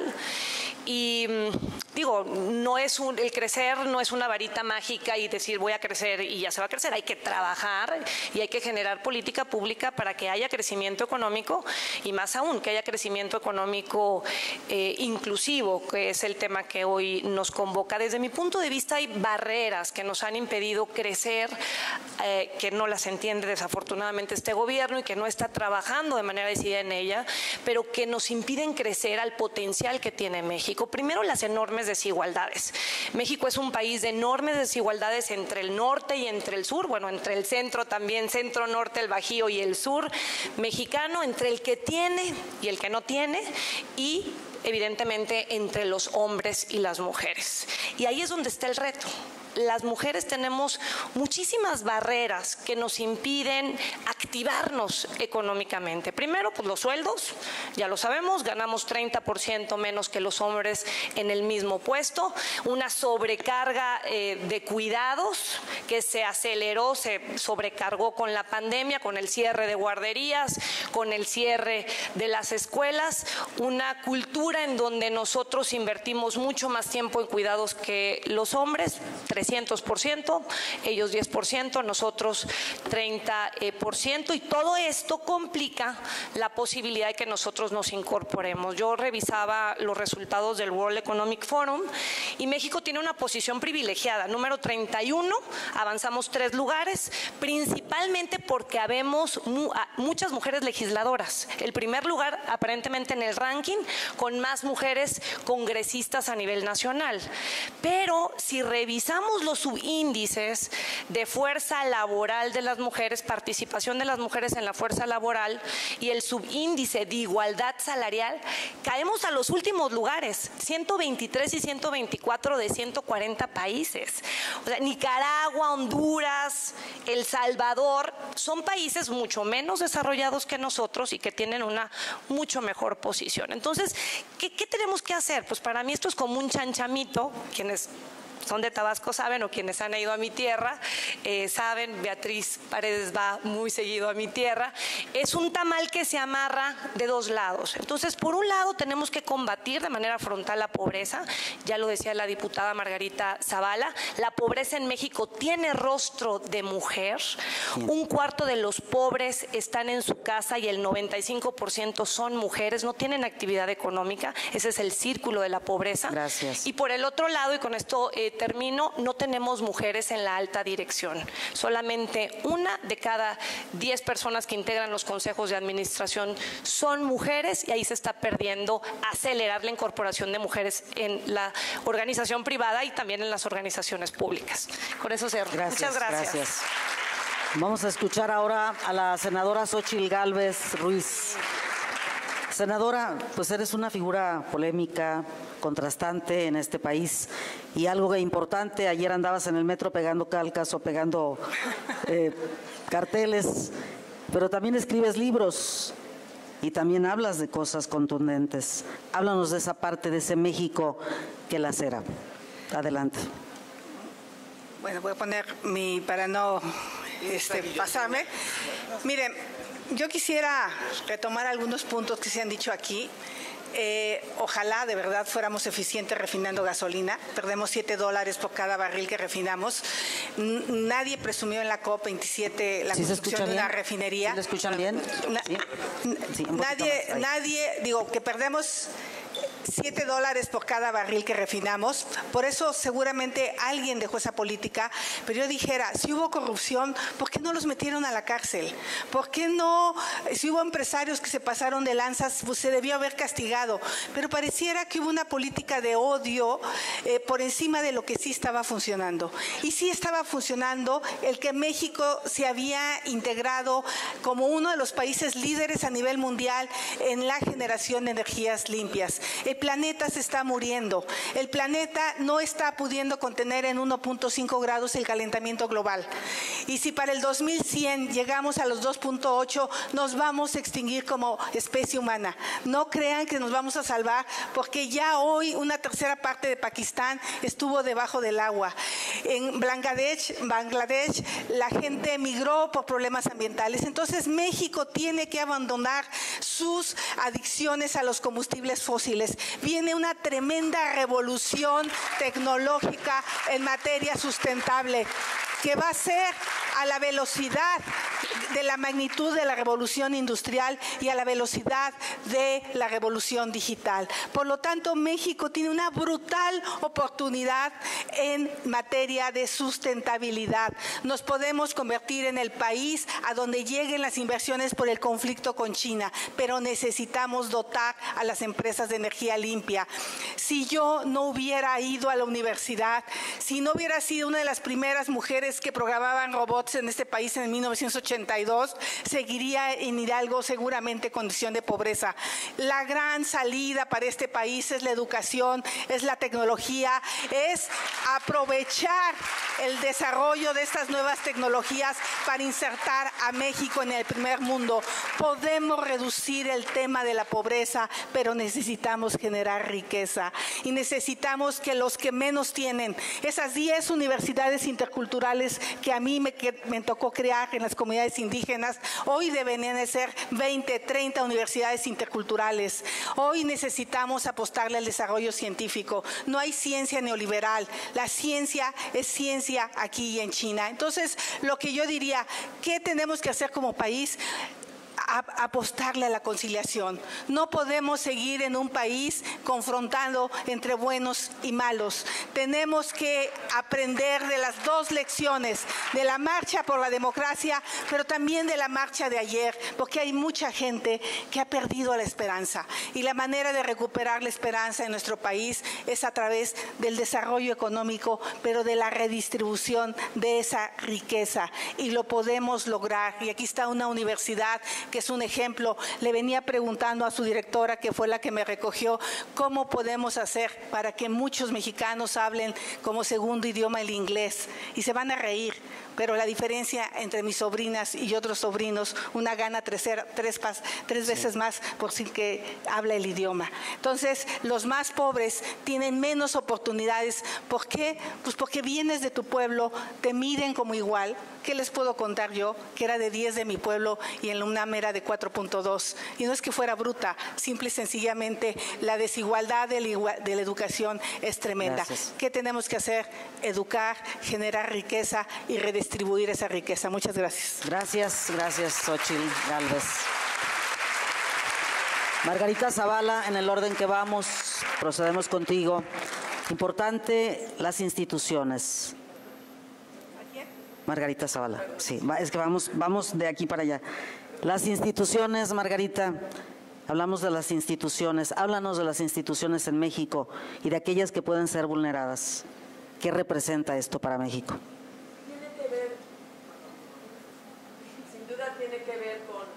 Sí se escucha, ya. Sin duda tiene que ver con el Estado democrático y constitucional de derecho. Lo que tenemos que ser es un país de instituciones, no de personas ni de caudillistas. Creo que estábamos en el rumbo, no digo que estábamos ahí. Pero a mí me preocupa y lo veo y quiero que lo vean muy claro con estos ejemplos. Me preocupa lo que ha pasado con los órganos autónomos, la manera en que los han debilitado Costó mucho trabajo construirlo, ya lo mencionaron en la mesa pasada. El INE, por ejemplo, que mañana voy a votar en contra de una reforma electoral que debilita las instituciones. Punto. Y créanme que no tengo buena experiencia con el INE. Me aplastaron, me aplastó el Estado desde ahí y sé muy bien que para el país requiere de instituciones. Ahí va un órgano autónomo que tiene la reforma, cosas que, bueno, no es materia de este tema. Segundo, me preocupa, me preocupa, por ejemplo, la Comisión Nacional de Derechos Humanos ya no existe, la han anulado, porque lo importante de la comisión era su autoridad moral. Por eso hace recomendaciones que vinculaban eh, moralmente, éticamente, como es decir, con autoridad, no con poder. Anularon la Comisión de Derechos Humanos. Me preocupa el Banco de México. Ya quitaron a un buen Además, consejero, yo soy fan de Gerardo Esquivel, que por cierto, pues de, Morena, por decirlo, pero la verdad es una persona independiente.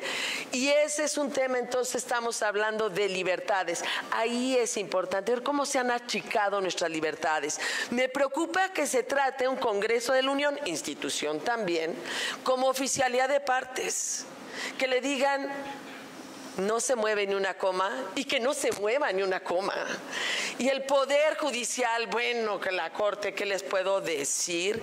En algunos momentos se ha portado hasta en lacayismo absoluto. Ahí están nuestras instituciones, se están desmoronando y con ella la democracia.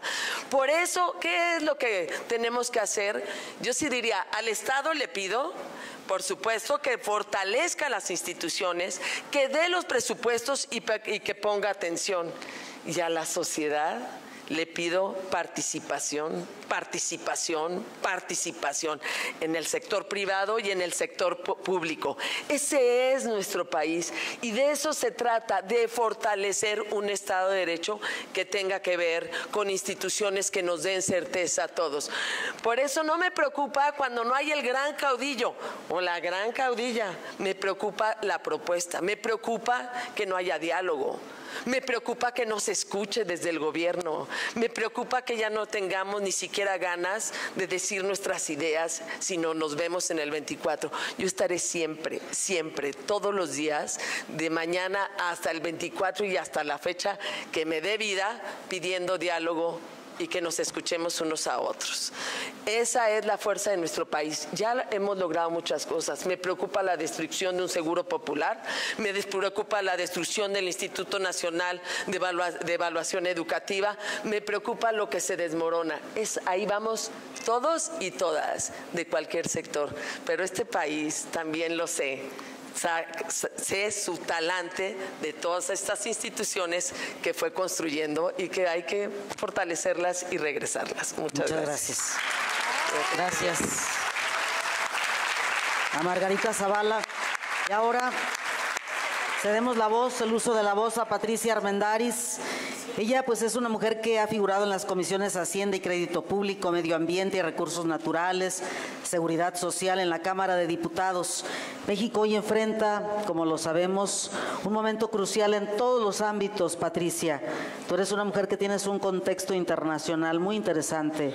¿Qué le dices a México desde tu trinchera, desde tu perspectiva, como una mujer que ha estado en el ámbito empresarial y en el ámbito político en este momento del servicio público. Adelante. Muchas gracias. Estoy íntimamente relacionada con mi panel en la parte de, de, que estoy muy preocupada por la polarización. He sido analista cercana, crítica de la 4T, a donde reviso todos los días mi compromiso. Y responsablemente lo hago pensando en mis hijas, pensando en mi futuro, pensando en todo. México está viviendo un momento que yo quisiera que todos lo viéramos con respeto, más que con una idea de confrontación de los buenos contra los malos. He explicado hasta el cansancio que la punta final que me dio la convicción de ir a trabajar con esta administración fue que la primera conferencia del presidente de la República fue con los empresarios. La primera conferencia, a donde les dijo, sin ustedes no podemos hacer nada.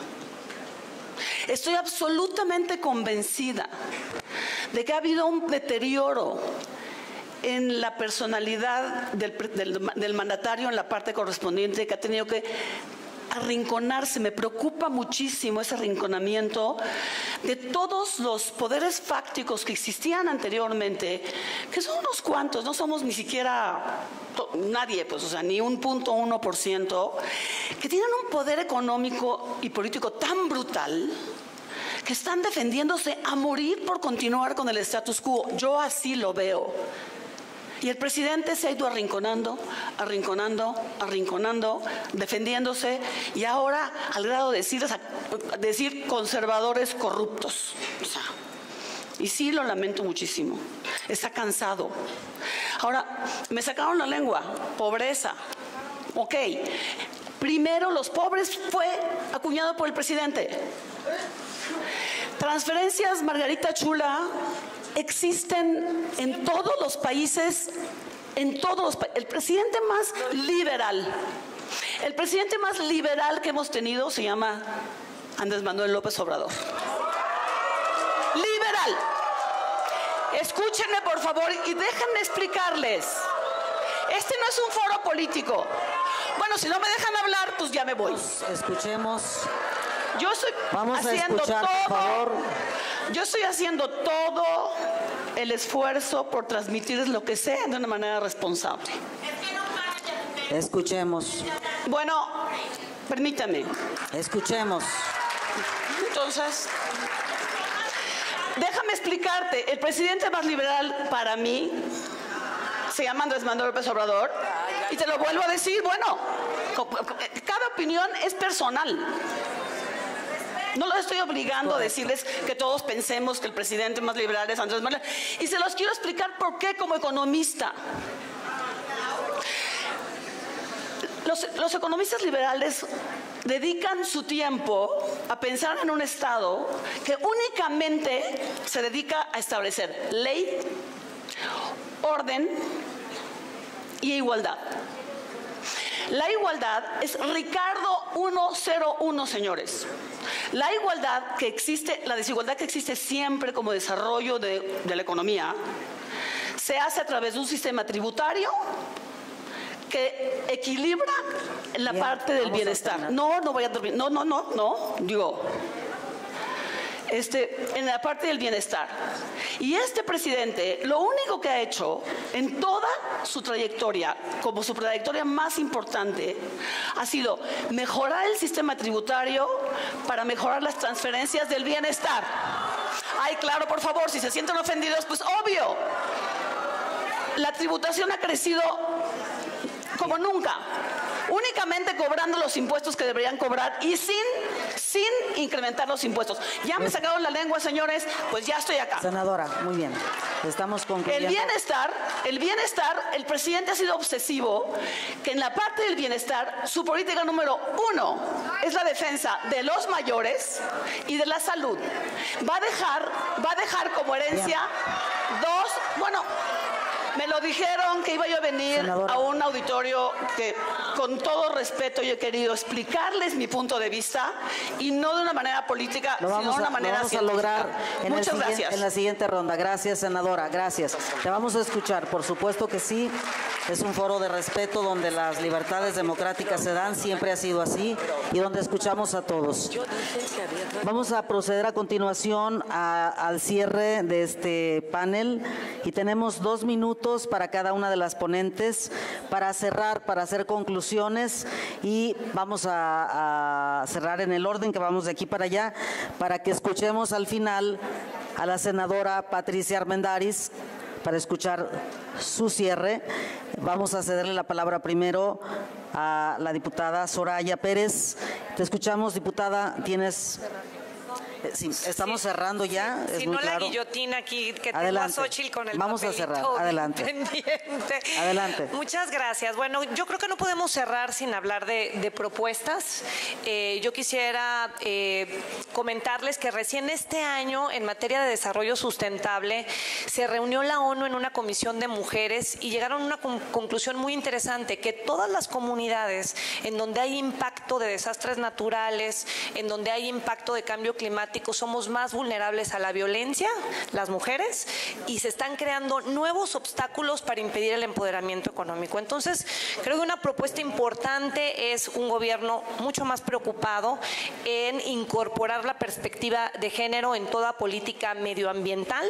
Coincido con mis compañeras, hay que fortalecer las instancias gubernamentales, desvincularla de los ciclos políticos que no les permiten tener la suficiente independencia. Me quiero sumar a la campaña de Geraldine también en el tema de que se creen más incentivos para las empresas que son responsables socialmente y ambientalmente. Geraldine, como tú dices, no es suficiente generar utilidades, hay que cuidar nuestra casa en común que es nuestro planeta. Y en el tema de incorporar a las mujeres, brevemente yo les decía, la pobreza. Yo tengo que decirlo, sí hay más programas sociales, pero no están llegando a los más pobres. Los últimos resultados de la encuesta ingreso-gasto dicen que el decil más pobre está recibiendo 32% menos transferencias gubernamentales que en 2018. Eso es realmente impresionante. Y además están recibiendo menos las mujeres. Y por el otro lado, tenemos que ser más mujeres en la alta dirección para ayudar a la incorporación de las mujeres. Muchísimas gracias. Gracias. Muchísimas gracias por tu participación en este foro. Cedemos la palabra ahora a Xochil Gálvez para conclusiones. Muchas gracias. Yo estoy de acuerdo en apoyar a los que menos tienen, por supuesto que estoy de acuerdo en esas transferencias, pero me parece que es insuficiente. Algo que aprendí de mi abuelo es ganar tu comida trabajando. Y creo que lo que tenemos que hacer Lo que tenemos que hacer es que estos apoyos sean temporales, darles habilidades, darles educación, certificación laboral, competencias laborales, generar fuentes de empleos para que la gente pueda salir adelante. De verdad que el mayor acto de dignidad de un ser humano es eso, poder ganar su comida trabajando y creo que es a donde yo me enfocaría, pero mientras tanto sigamos dando los apoyos económicos, no digamos que no son necesarios, sí son necesarios, por eso la gente se aferra a eso único que hoy tiene ante la inflación que tenemos, porque hay mucha carestía, ante la falta de medicamentos en las comunidades indígenas, ante el abandono del campo. Entonces, y en segundo término, yo diría, tenemos que apostarle al Estado de Derecho. No es posible que los narcotraficantes se paseen por la calle, que el presidente salude a la mamá del Chapo con absoluta impunidad. Y también le digo una cosa a la clase política, los que tengan la cola sucia, váyanse a su casa, porque aquí tenemos un país que defender y ese país lo vamos a defender porque no estoy de acuerdo con la militarización de la política. No es la militarización del país, es la militarización de las decisiones en la política. No podemos seguirle dando tantas actividades al ejército. La Secretaría de Comunicaciones tiene que hacer su chamba y cerraría diciendo, no es posible que dos bocas que se anunció que iba a costar 8 mil millones de dólares, 160 mil millones de pesos, al día de hoy, reconocido por el secretario de Hacienda en su comparecencia, esté costando 360 mil millones. ¿Quién se está robando el dinero? Y tenemos que lograr que se rindan cuentas en este país. Basta de corrupción. Muchas gracias. Gracias. Gracias a la senadora Xochitl Galvez. Cedemos la palabra ahora a la diputada Margarita Zavala. Bueno, para precisar, y creo que lo dije muy claro, están bien las transferencias directas de dinero. El problema es que sea el único mecanismo de política social. Esto es muy sencillo. Si la política social acierta, hay menos pobres. Y si, y si no acierta, si falla, hay más pobres. 3.8 millones de pobres más de los que se tenía. Esos son los eh, eh, empobrecidos que ahorita tenemos. Y yo sí, a mí sí me parece muy importante que quede quede muy claro que en relación con primero los pobres, me parece, y lo digo también con todo respeto, Patricia, que optaron por los votos, no por los pobres. Y entonces nos están sometiendo, porque se trata de que unos que no solo unos tengan más y tienen mucho y otros no tienen nada, pero se trata de que tengamos todos, no de que nadie tenga nada. Y de todos modos, los que siempre tienen mucho tendrán mucho y están muy al servicio, muy al servicio. Yo por ahí conozco a varios que siempre han estado con el poder. Economía. La economía debe ser, para mí debe ser competitiva solidaria y sustentable. Y no es competitiva porque si hay adjudicaciones directas de más del 70%, pues ya no hay competencia. Y si se va, si hay impunidad y si hay corrupción, ya no hay competencia. No es solidaria porque no, no hay ningún apoyo a las pymes ni a las micro y pequeñas empresas. Y porque no hay reactivación económica. Entonces pasa lo que dice Soraya, ¿no? Y, la, y también poco es sustentable. Y la última, seguridad. Yo sí vengo, yo sí he visto un gobierno capaz de querer enfrentar al crimen organizado. Y por eso hay esa ola de violencia. Porque la política de abrazos y no balazos no es para el Estado. La política de abrazos y balazos eh, y, no, balazos está matando a los mexicanos y requeremos una policía civil fuerte. Ahí debió haber estado la discusión en las instituciones de seguridad y por supuesto un ejército que por favor ya respétenlo, no lo humillen más. Lo queremos para nuestra seguridad también. Gracias, diputada Margarita Zavala.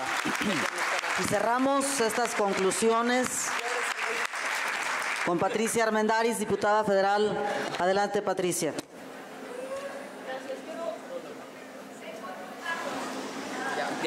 Quiero eh, terminar de elaborar lo que les decía. Para a mí me interesa muchísimo terminar de explicarles lo que yo veo. Básicamente se trata de que nuevamente, las transferencias son lo que se dan siempre en un Estado liberal desarrollado. Es tributo para generar un estado de bienestar donde todos tengamos acceso a educación, a salud, a un retiro digno. Y yo siento que este Estado se ha dedicado exclusivamente de una manera prioritaria a esa parte del estado de bienestar. No es casual que todo le llame bienestar, en inglés se llama welfare state, Inglaterra es puntero y los países eh, nórdicos también lo son. Yo sí confío que esta terquedad de nuestro, de nuestro actual administrador del Ejecutivo, Andrés Manuel, insiste en dejar un estado de bienestar pues, a lo que podemos aspirar con una tributación tan pequeña. Confío en que quede el, el servicio de salud que ahora se está nuevamente centralizando en el IMSS gratuito para todos. Confío en que los adultos mayores sin distinción de ingreso tengan al, menos 6 mil pesos mensuales al final de su, sexenio. Confío en que, en que deje pues las bases fundamentales de un estado de bienestar. Ciertamente lo que sigue para el siguiente presidente es la inseguridad, o presidenta, es la inseguridad y la educación. Muchas gracias. Gracias. Gracias, Patricia Armendaris. Y con esto cerramos este segundo panel de este foro Mujeres en el Poder, el rumbo de México. Y en el subtítulo de este panel, Retos en la Política Pública para impulsar los objetivos de desarrollo sostenible en México. A continuación, quiero invitar al maestro Gustavo Padilla, si es tan gentil, y también a Geraldine Herrera a pasar a la foto.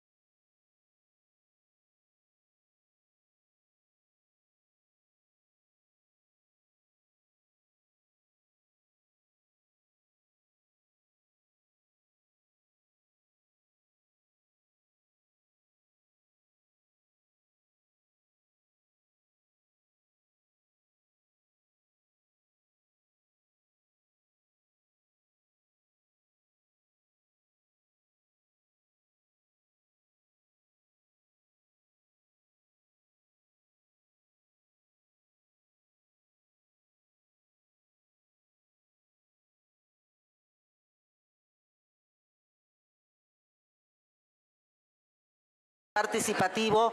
Ellas cierran con broche de oro este foro tan importante. Denise Smith Gaudry, moderadora, doctora, conferencista, activista social y ciudadana, te cedemos la palabra. Adelante. Muchas gracias. Si son tan amables de tomar sus asientos para que podamos empezar, por favor, por favor, a los que están aquí al lado, si pueden tomar su lugar para poder empezar, se los vamos a agradecer. Muy buenas tardes a todos ustedes. Es un gusto estar aquí en el Foro de Mujeres en el Poder, el rumbo de México. El panel número tres, el rol de las mujeres y la sociedad civil en la construcción de un país justo y participativo. Y en verdad es un honor estar con mujeres tan admirables, tan destacadas en su ambiente y en este ambiente de sororidad. Muchas gracias. Tenemos con nosotros a Carla Astrid Humphrey a María Elena Morera Mitre, a Sonia Santos de Arredondo, Verónica Juárez Piña y Edna Giselle Díaz Acevedo. Por orden alfabético, voy a empezar les pido por favor si pueden guardar silencio porque no se escucha bien, si son tan amables. Gracias. Voy a empezar en orden alfabético con Edna Giselle Díaz Acevedo. Ella es exdeportista de alto rendimiento, campeona mundial de taekwondo y política mexicana. Licenciada en Psicología por la Universidad del Valle de México, es maestra en Gestión y Dirección de Entidades por la Universidad Europea del Real Madrid. Estudió estudios de Economía Circular por la Universidad de Berkeley y actualmente realiza estudios del doctorado en Administración Pública en el INAP.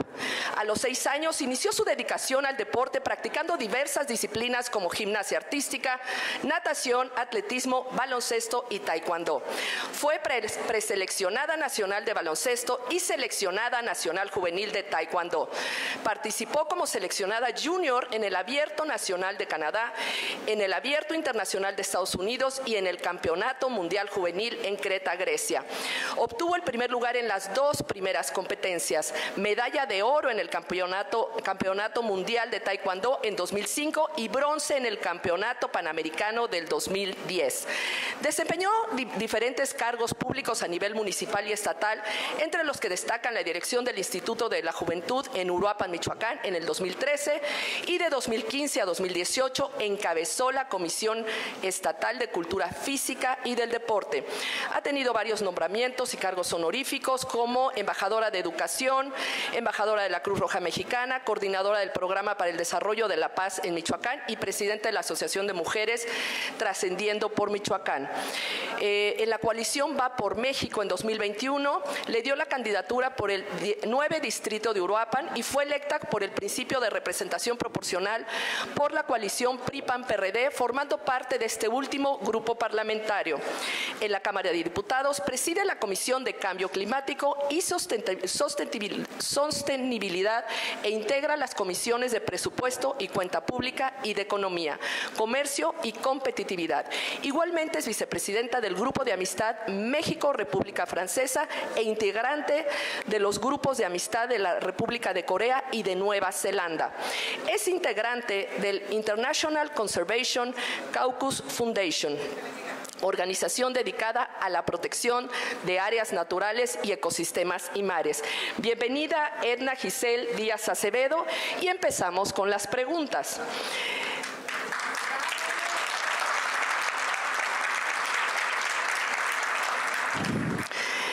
Edna Díaz. Recientemente, en el Día Internacional de la Eliminación de la Violencia contra las Mujeres, millones han denunciado que aún falta mucho por hacer y en México continúan los índices muy altos en las diversas violencias que no se pueden erradicar. Este programa nos hace ver que este país no es justo porque muchas de las mujeres no tienen las oportunidades de participación y voz como ustedes las tienen ahora en este foro. ¿Cuál es tu sentir al respecto? ¿Seguimos siendo injustos, injustas como sociedad y sistema político?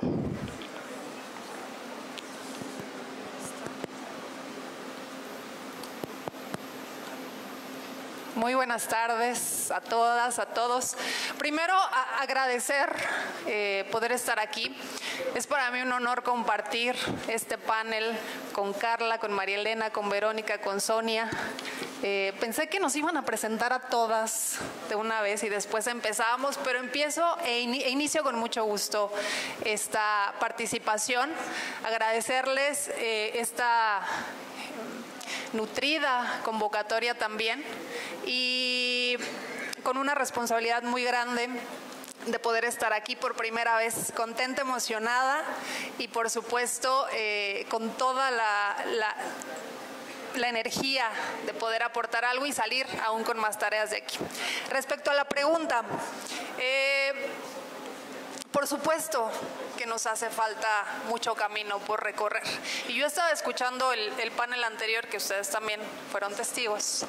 Eh, y bueno, hablaban de, muchas cosas y ahí ya reflejaban parte de lo que estamos viviendo y seguramente más adelante vamos a hablar de ellos, pero eh, el tema de la violencia en contra de las mujeres, no solamente eh, somos testigos desde el legislativo, que más adelante les voy a contar cómo, sino que eh, ha sido un reflejo de lo que sucede en nuestra sociedad y de toda esta brecha que se ha hecho aún más grande y que lejos de erradicarla parece que va creciendo porque si nosotros como legisladoras y legisladores vemos un anexo 13 que es dedicado precisamente, ¿nos escucha? Se fue. Ahí me escucha. Qué diferencia. Vemos en la pasada discusión del presupuesto de egresos de la Federación un anexo 13 plagado de muchísimas cosas, de muchos programas, menos los que tienen que ver con erradicar esa violencia o con eh, digamos, quitar esa brecha que aún tenemos. Entonces, es preocupante, sí, porque parece que hemos eh, perdido mucho tiempo en estas discusiones, en estos falsos debates y narrativas engañosas y no hemos avanzado. Por lo menos mi experiencia desde el legislativo a un año ya de, de esta de esta legislatura no hemos avanzado en eso. Si no avanzamos en una asignación de presupuesto real para el tema de género, pues va a ser muy difícil que las políticas públicas se encaminen correctamente a ese punto. Y como una mujer, como una niña que creció en una ciudad más o menos pequeña, eh, donde crecí rodeada, y les cuento un poco ahí mi experiencia, de prejuicios, sí, y de cuestiones que iban debilitando la labor de la mujer y en donde hace ya muchos años yo decidí hacer deporte de alto rendimiento en una etapa de mi vida, elegir un deporte que era para niños, un deporte como el taekwondo, y donde me decían, no puedes hacer eso porque entonces puede ser que seas menos niña o menos mujer. Entonces, tener que luchar contra eso eh, no hubiese sido posible sin el apoyo de mi familia y después demostrar que las niñas podemos hacer lo que queramos hacer, eh, con el apoyo del gobierno o sin el apoyo del gobierno. Eh, muchas gracias. Gracias. Perdón, es que somos cinco panelistas, son, son cinco panelistas y tienen dos minutos y medio para responder el tiempo. Una disculpa, en verdad. Gracias, ahora les seguimos. Me toca hacer Dziękuję. Me toca un papel no muy agradable, pero desgraciadamente el tiempo nos come. Ahora vamos con Carla Astrid Humphrey Jordan. Ella es doctoranda en Gobierno y Administración Pública por el Instituto Universitario Ortega y Gasset de la Universidad Complutense de Madrid, España. Especialista en Derecho Constitucional y Ciencia Política por el Centro de Estudios Políticos y Constitucionales de España. Licenciada en Derecho por el ITAM. Cuenta con un diplomado en Dirección Estratégica de Instituciones Públicas por la Universidad de Berkeley en California, además de un diplomado en Mercadotecnia Política por el Instituto Tecnológico Autónomo de México. Ha sido directora general de Asuntos Normativos de la Unidad de Inteligencia Financiera de la Secretaría de Hacienda y Crédito Público, secretaria de estudio, de estudio y cuenta de la Sala Superior del Tribunal Electoral del Poder Judicial de la Federación, consejera electoral del IEDF, consultora nacional de ONU Mujeres, especialista internacional de fiscalización, financiamiento de partidos políticos y género en misiones de observación electoral del OEA. Actualmente es consejera electoral del Instituto Nacional Electoral. Es socia de la organización International Women's Forum y forma parte de la Asociación de Magistrados Electorales de las Américas. Y empezamos con ella. También es articulista en La Silla Rota y El Universal. Y empezamos con la primera pregunta. Eh, Carla, de acuerdo a tu experiencia profesional en materia electoral, ¿cuáles son los principales retos que las mujeres enfrentan en su acceso a la política y en el ejercicio a su puesto? Eh, muchas gracias. Buenas tardes a todas y a todos. Eh, gracias, Denis, por la pregunta. Gracias también a Edna, María Elena, Verónica, Sonia. Es un gusto estar aquí en la FIL eh, de Guadalajara. Además, agradezco la invitación a Geraldine Herrera. Muchas gracias por invitarme a la Universidad de Guadalajara. Y además, increíble estar frente a mujeres que admiro muchísimo, Amalia, Dulce y varias otras de ustedes, por supuesto, diputada, que no me voy a detener a nombrar porque no quiero eh, dejar a ninguna fuera. Eh, creo que la pregunta es muy relevante porque el tema es dónde estamos eh, ahora las mujeres en el tema de derechos políticos y electorales. Y podría decir que hemos avanzado, pero nos han costado como 20 años cada vez que vamos avanzando. Hace 69 años las mujeres no podían votar en este país. O sea, mi mamá nació cuando todavía no podía votar, ya cuando alcanzó los 18 años, ya afortunadamente pudo votar, pero vean la historia que tenemos. De ahí otros 20 años para que nos garantizaran la igualdad formal ante la ley, 1974. Otros 20 años para las cuotas de género, para poder estar en espacios públicos. Otros 20 años para la paridad en postulación. Y esto se ha dado eh, gracias a la lucha de muchas mujeres que han venido trabajando, organizándose, son aliadas sin importar los partidos políticos y por supuesto hombres aliados, pero si no, no hubiera hemos podido llegar a la cereza del pastel en la que hoy estamos y que denominamos paridad total de en 2019. Y esto se logró por una alianza y una bancada que se ha ido de mujeres de todos los partidos políticos que aprobaron dos reformas esenciales. Pero primero yo diría, ¿cuál es entonces el primer obstáculo? Que no había oportunidades para que las mujeres accesaran a los cargos públicos. Los partidos políticos no abrían estos espacios. Cuando tuvieron que abrirlos legal o constitucionalmente, tenían además o no les daban recursos para sus campañas, espacios en radio y televisión, las violentaban políticamente, las dejaban en los últimos lugares de las listas. Eh, todos y todas, desafortunadamente, conocemos los casos de Juanitas, Manuelitas, y que hemos tenido que ir acompañando con acuerdos administrativos, con sentencias, por supuesto con reformas a las leyes y a la Constitución. Y el segundo tema que me parece muy importante es la violencia política en razón de género. Esta violencia que desafortunadamente eh, es un binomio que espero que algún día podamos resolver. Entre más mujeres entran a la política, más son violentadas. Vemos formas cada vez distintas en que se violentan. Ahora estamos ya en la violencia mediática, digital, redes sociales. Y eso es un tema que tenemos que garantizar a pesar de que también esta bancada de mujeres aprobó este marco normativo para combatir por primera vez en nuestro país la violencia política en razón de género. Muchas gracias. Gracias a Carla Humphrey. Nuestra siguiente invitada es Verónica Beatriz Juárez Piña, que trae porra, licenciada, licenciada en Derecho por la Universidad de Guadalajara, militante del Partido de la Revolución Democrática desde 1990, donde ha desempeñado distintos cargos en la dirección nacional, diputada federal en la 63 legislatura de 2012 a 2015, presidenta de la Comisión de los Derechos de la Niñez y la Adolescencia, diputada federal de la 64 legislatura, desempeñándose como coordinadora del Grupo Parlamentario del PRD, representante suplente del Grupo Parlamentario del PRD ante el Consejo General del Instituto Nacional Electoral de 2018 a 2021. Reconocida en la lista de las 104 mujeres líderes de México, premiadas por el periódico El Universal en 2020, distinguida como una de las 300 líderes del país de 2021 y 2022. Forma parte de las organizaciones feministas rebeldes con causa 50 más 1, Mujeres en Plural, Red Nacional de Defensa Paridad en Todo y Paritarias de Jalisco. Actualmente es coordinadora nacional de la corriente política Nueva Izquierda del PRD. Le damos la bienvenida y Muchas gracias, Denise, y, por supuesto que Ahora, estoy muy contenta voy con de la pregunta. Voy con la perdón. pregunta. Ella ya se nos fue, pero vamos a hacerle la primera pregunta. Perdón, Adelante, Vero. Denise. ¿Por qué es importante, Vero, la sociedad civil en general y por qué es importante la participación de las mujeres en las organizaciones?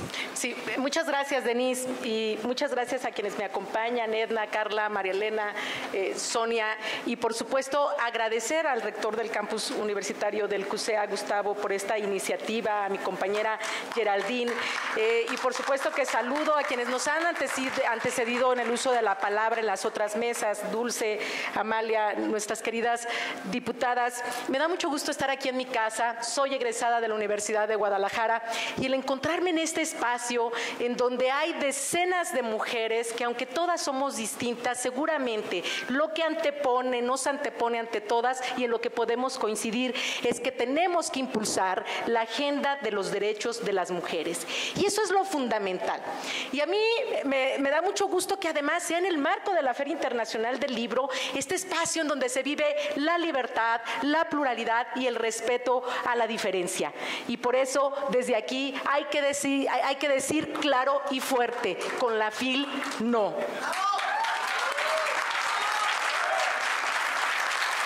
La pregunta rápidamente. Bueno, el, el- el- el que hoy nos convoca a esta mesa tiene que ver con el rol de las mujeres y la sociedad civil en la construcción de un país justo y participativo en el marco de las mujeres al poder, el rumbo del México. Cualquier cambio que ha existido en nuestro país, cualquier cambio inclusive que ha tenido que ver en el mundo y cualquier cambio que pueda darse, no puede darse sin nosotras. Y así ha sido la participación de las mujeres organizadas en distintos temas. Ahora podemos hablar del tema político, pero las mujeres nos hemos organizado desde siempre para ganar nuestros derechos, para que sean reconocido lo que por nacimiento nos debería de corresponder y que se nos ha venido negando.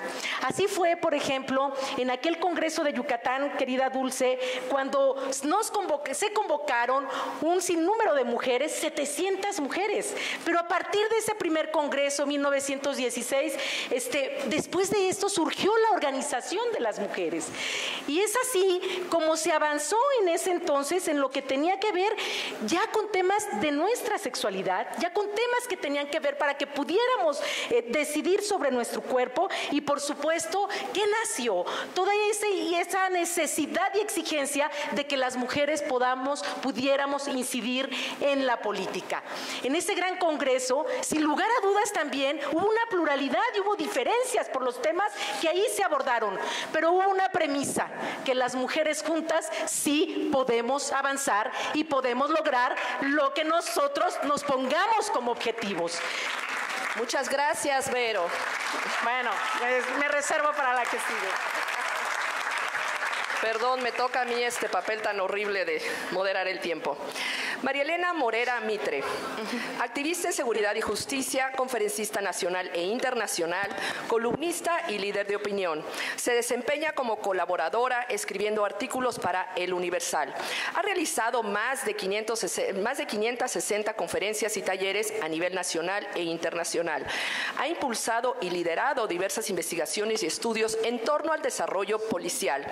En 2020, a la fecha actual, es miembro del Consejo Ejecutivo de Signos Vitales. A partir de 2009, es presidenta de Ciudadanos por una Causa en Común, AC, organización que trabaja en la defensa de los derechos y libertades, en defensa de las víctimas y de la democracia y sus instituciones, con e- especial énfasis en aquellas responsables de la seguridad. Entre 2016 y 2019 fungió como integrante de la comisión de selección que designó a los miembros del Comité de Participación Ciudadana del Sistema Nacional Anticorrupción. Entre 2014 y 2018 fue miembro del Comité Especial de Seguimiento y Evaluación de la Estrategia Nacional Antisecuestro. Entre 2012 y 2014 participó en el Consejo Nacional de Seguridad Pública como uno de los cinco miembros ciudadanos invitados. Entre 2011 y 2013 2013 fue integrante del Consejo de la Junta de Gobierno de Províctima. Entre 2011 y 2012 fue parte del Consejo Técnico Consultivo de la Ley Federal de Fomento a las Actividades realizadas por la sociedad civil entre 2003 y 2009. Presidió la organización México Unido contra la Delincuencia AC. En 2008 fundó el Observatorio Ciudadano por la Legalidad, Seguridad y Justicia AC. Actualmente es miembro del Consejo Consultivo de las siguientes instituciones: Mexicanos contra la Corrupción y la Impunidad AC, Centro Mexicano para la Filantropía, CEMEFI, Revista Alcaldes de México. Le damos la más cordial bienvenida a María Elena Morera. Y ahora la primera pregunta. ¿Cuál es la importancia del activismo y la participación de las organizaciones de la sociedad civil? Muchas gracias, Denise. Muchas gracias por la invitación, Geraldine. Es un honor estar esta tarde aquí con todas y todos ustedes. Eh, muchas gracias a todos los que están aquí, porque lo único que no se recicla, pues es el tiempo. Entonces les agradezco mucho y agradezco mucho a mis compañeras panelistas. A ver, los activistas sí somos actores políticos, contrario a lo que mucha gente dice, no, no somos políticos. No, claro que somos actores políticos, solo que fuera de la militancia de los partidos. Y lo que hacemos, o lo que quisiéramos, es que precisamente fuera... Eh, nos volcáramos a que pudiéramos trabajar juntos, sociedad y gobierno, porque yo estoy segura que los cambios en este país no se van a dar sin la organización civil. No hay forma. Porque todo lo que ha sucedido en el país importante, por supuesto, que lo han hecho desde el poder, pero siempre impulsado por, por grupos de organizaciones civiles en todas sus formas. Además, la organización civil no, no es solamente una, como antes se creía, ¿no? que si solamente las que estaban constituidas legalmente, no.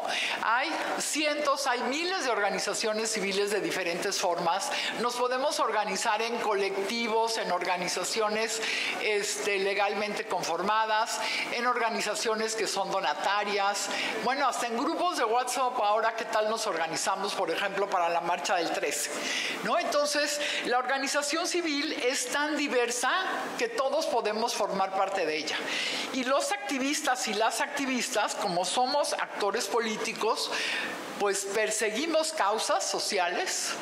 Al perseguir causas sociales nos identificamos con mucha gente que tiene en su dolor o en su angustia o en su júbilo precisamente esa, esa causa para visibilizarlas y empoderarlas. Me parece que esa es la parte importante de los activistas. No es empoderarse el activista, es empoderar a los otros para que logren las causas. Y en las organizaciones lo importante es que todos nos podemos sumar para cambiar una situación que nos esté molestando. Y puede ser desde los que nos sumamos en una cuadra, en una colonia para cambiar el espacio público, hasta las grandes transformaciones que se dan en un país. Por eso es que el activismo y la organización civil son fundamentales para el desarrollo del país. Yo no encuentro la forma como podamos volver pues a recoger pedazos de este país, reconstruirnos hacia un futuro, porque nadie está pensando en regresar al pasado, pero sí tomar muchos de los pedazos que nos han destruido, ¿no? Y yo hablo desde el ámbito que nosotros más vemos, que son las y los policías de este país, en temas de seguridad y de violencia y todo lo que en esto se ha destruido. ¿Cómo lo vamos a poder hacer? Pues solos los ciudadanos no y solas las autoridades tampoco. Todos juntos por un mejor país. Muchas gracias, María Elena. Y ahora damos la bienvenida a Sonia Santos de Arredondo. Desde 1990 radica en México, trabajó en el Museo de Arte Contemporáneo Internacional Rufino Tamayo, Casa de Subastas, Matos Moctezuma, Museo Jumex y actualmente es directora de la Fundación Olga y Rufino Tamayo AC del Museo Tamayo y está estudiando la licenciatura en Historia de la IEU. En el campo de la filantropía es consejera del patronato del Instituto Guadalupe Linares de Nuevo León y de la tienda del MAP AC, miembro y fundadora de la Asociación de Amigos del MAP AC, en la cual pertenece, la cual pertenece al Consejo Colegiado de Expresidentes, además de creadora y editora de la página web y boletín de los Amigos del Museo de Arte Popular desde el 2011 y del evento Grandes Artesanos de la Gastronomía, consejera de la iniciativa de la sociedad civil La Voz de Polanco, investigadora de Cultura y Gastronomía de México, creadora del concurso Nuevo León Sabe Bien y socia de algunos importantes chefs de la Ciudad de México. Escribió el libro Pásele Marchanta, México y sus mercados. Ha colaborado con prólogos de otros libros de cocina. Tiene un programa de radio semanal, Delicioso Nuevo León, jurado en diferentes concursos artesanales y, dictado, y ha dictado conferencias sobre temas de arte popular y gastronomía. Bienvenida, Sonia. Muchas gracias. Muchas gracias. Eh, gracias eh, a Geraldine por esta invitación, a Alejandro y a Lulu, muchas gracias. Muchas por gracias. Estar aquí hoy. Muchas gracias, Denis, por la presentación. Ahora va la primera pregunta, ¿no? Sí. No se me adelante. ya se me andaba olvidando. Cero y van dos. Vienen muy, muy, este, muy participativas. Sonia, la participación de las mujeres en cargos públicos permite contar con la diversidad necesaria para mantener la representatividad de la población de sus países, desarrollar políticas incluyentes y tener modelos a seguir que promueven mayores niveles de participación de talento femenino en las nuevas generaciones. En México, ¿cómo consideras que se puede fomentar la participación ciudadana y política de las mujeres en todos los temas fundamentales de la democracia? Eh, bueno, pues antes que nada quiero eh, decirles que me siento muy halagada de estar eh, en este evento porque pues a bárbaro con estas mujeres, qué increíble, qué elocuencia, qué forma de hablar, qué famosas. Yo, gracias a mis compañeras aquí del panel también, que tienen unas carreras y trayectorias importantísimas. En mi caso muy particular, yo represento a la sociedad civil al 100%. Creo que María Elena y yo somos las únicas que estamos aquí que no estamos relacionadas con cargos públicos. María Elena es una activista, yo no me considero una activista, pertenezco a esta gran masa de la sociedad civil anónima que por cierto, somos la mayoría, por supuesto. Somos quienes tenemos que seguir trabajando para que se cumpla puntualmente lo que los gobernantes y la gente que está dentro de este poder legislativo también sean quienes puntualmente ejecuten lo que se nos promete, lo que nosotros como sociedad buscamos. Y precisamente eh, las mujeres que me acompañan en este camino que hemos estado a lo largo de las diferentes iniciativas al 100% de la sociedad civil, pues no ha sido fácil. No ha sido fácil porque trabajamos muchas de nosotras en la iniciativa privada, eh, trabajamos dentro de todas estas organizaciones eh, por un bien común, por el bien de México y no ha sido fácil como lo menciono porque ha habido estos tropiezos que, con los que nos hemos topado. Yo soy de las menos que, hemos sufrido esto mm, por parte de la sociedad como mujer, porque soy norteña y tengo un carácter muy fuerte. Entonces eso, eso a veces permite que la gente, eh, hombres sobre todo, se limiten un poquito. Mi voz no es muy sutil y muy suave como pueden ver. Entonces eso a veces impone. Eso me ha ayudado, la verdad. Y por supuesto, mi mamá trabajó, fue una persona que ha hecho mucho por Nuevo León, por mi estado. Yo soy de Monterrey pero sí creo que eh, se necesita seguir trabajando más. He escuchado a todas estas mujeres dentro de la política que siguen al pie de la letra el seguir eh, trabajando por un mejor país, por darle a las mujeres oportunidades que eh, permitan que podamos seguir en este ambiente y que puedan ellas lograr una mayor participación en todos los ámbitos de nuestro país. Eh, quiero agregar que existen muchas mujeres dentro de todas estas organizaciones civiles que trabajamos por un mejor país, que trabajamos porque sea, exista la igualdad, no solamente entre hombres y mujeres, sino en estas ah, formas de pasar por la vida del resto de nuestros compatriotas. Muchísimas gracias. Y bueno, les dije que me tocaba a mí siempre dar las malas noticias. Me acaban de pedir que eh, concluyamos el panel.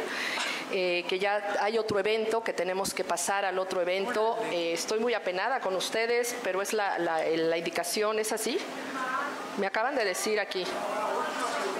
Una última pregunta, ¿me permiten? Ustedes díganme. Sí, ok. Última pregunta. Sí, claro. Sí, por supuesto que sí. Carla Humphrey se tiene que ir, su avión sale en apenas una hora. Entonces va para ella la siguiente pregunta para que pueda irse. Desde tu punto de vista, ¿cómo se enlaza esta lucha de las mujeres por acceder a la función pública y a los puestos de elección popular con las causas de la sociedad civil organizada?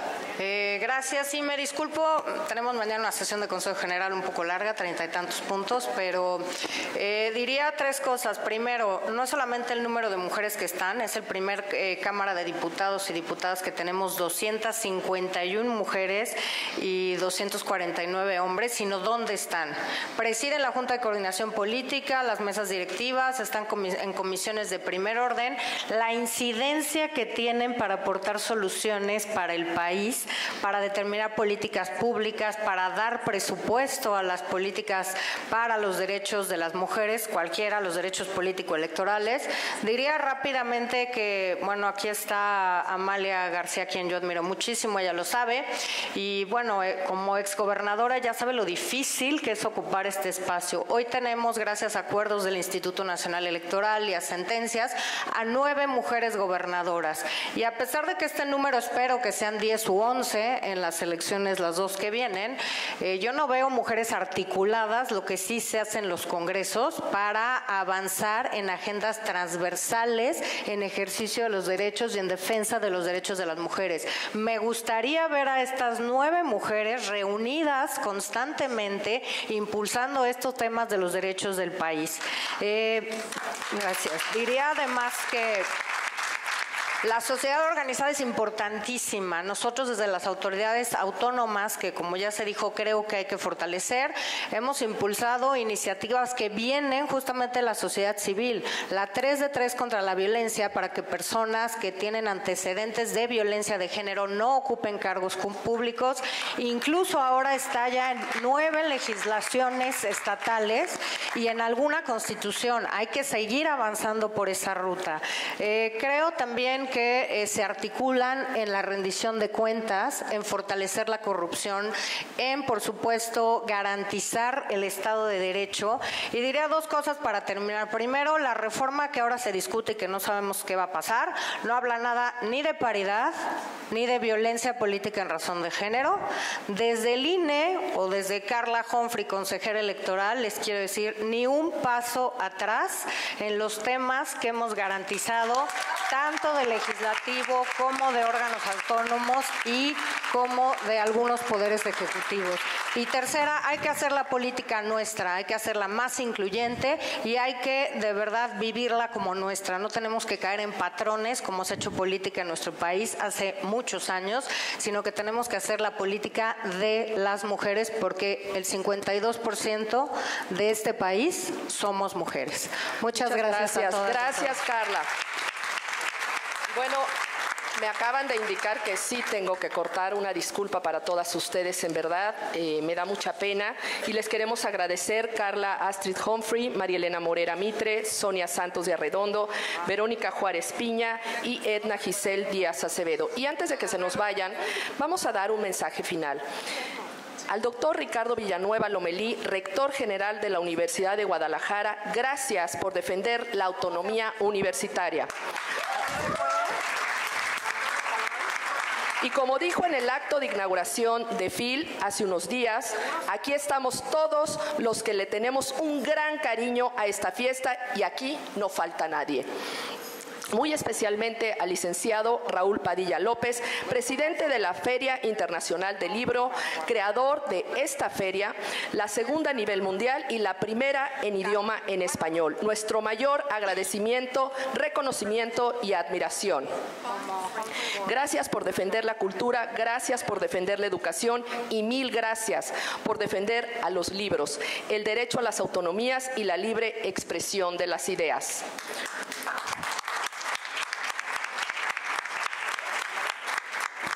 Coincido también en su discurso de inauguración de FIL, escribir y leer, enseñar y aprender, hacia los seres humanos más libres, por ello creamos la FIL.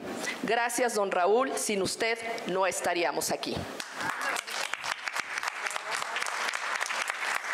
Definitivamente a Marisol Schultz, directora general de la Feria Internacional del Libro. Al maestro Gustavo Padilla Montes, rector general del Centro Universitario de Ciencias Económicas y Administrativas. Y finalmente, a Geraldine Herrera y Adriana Padilla, organizadoras de este foro.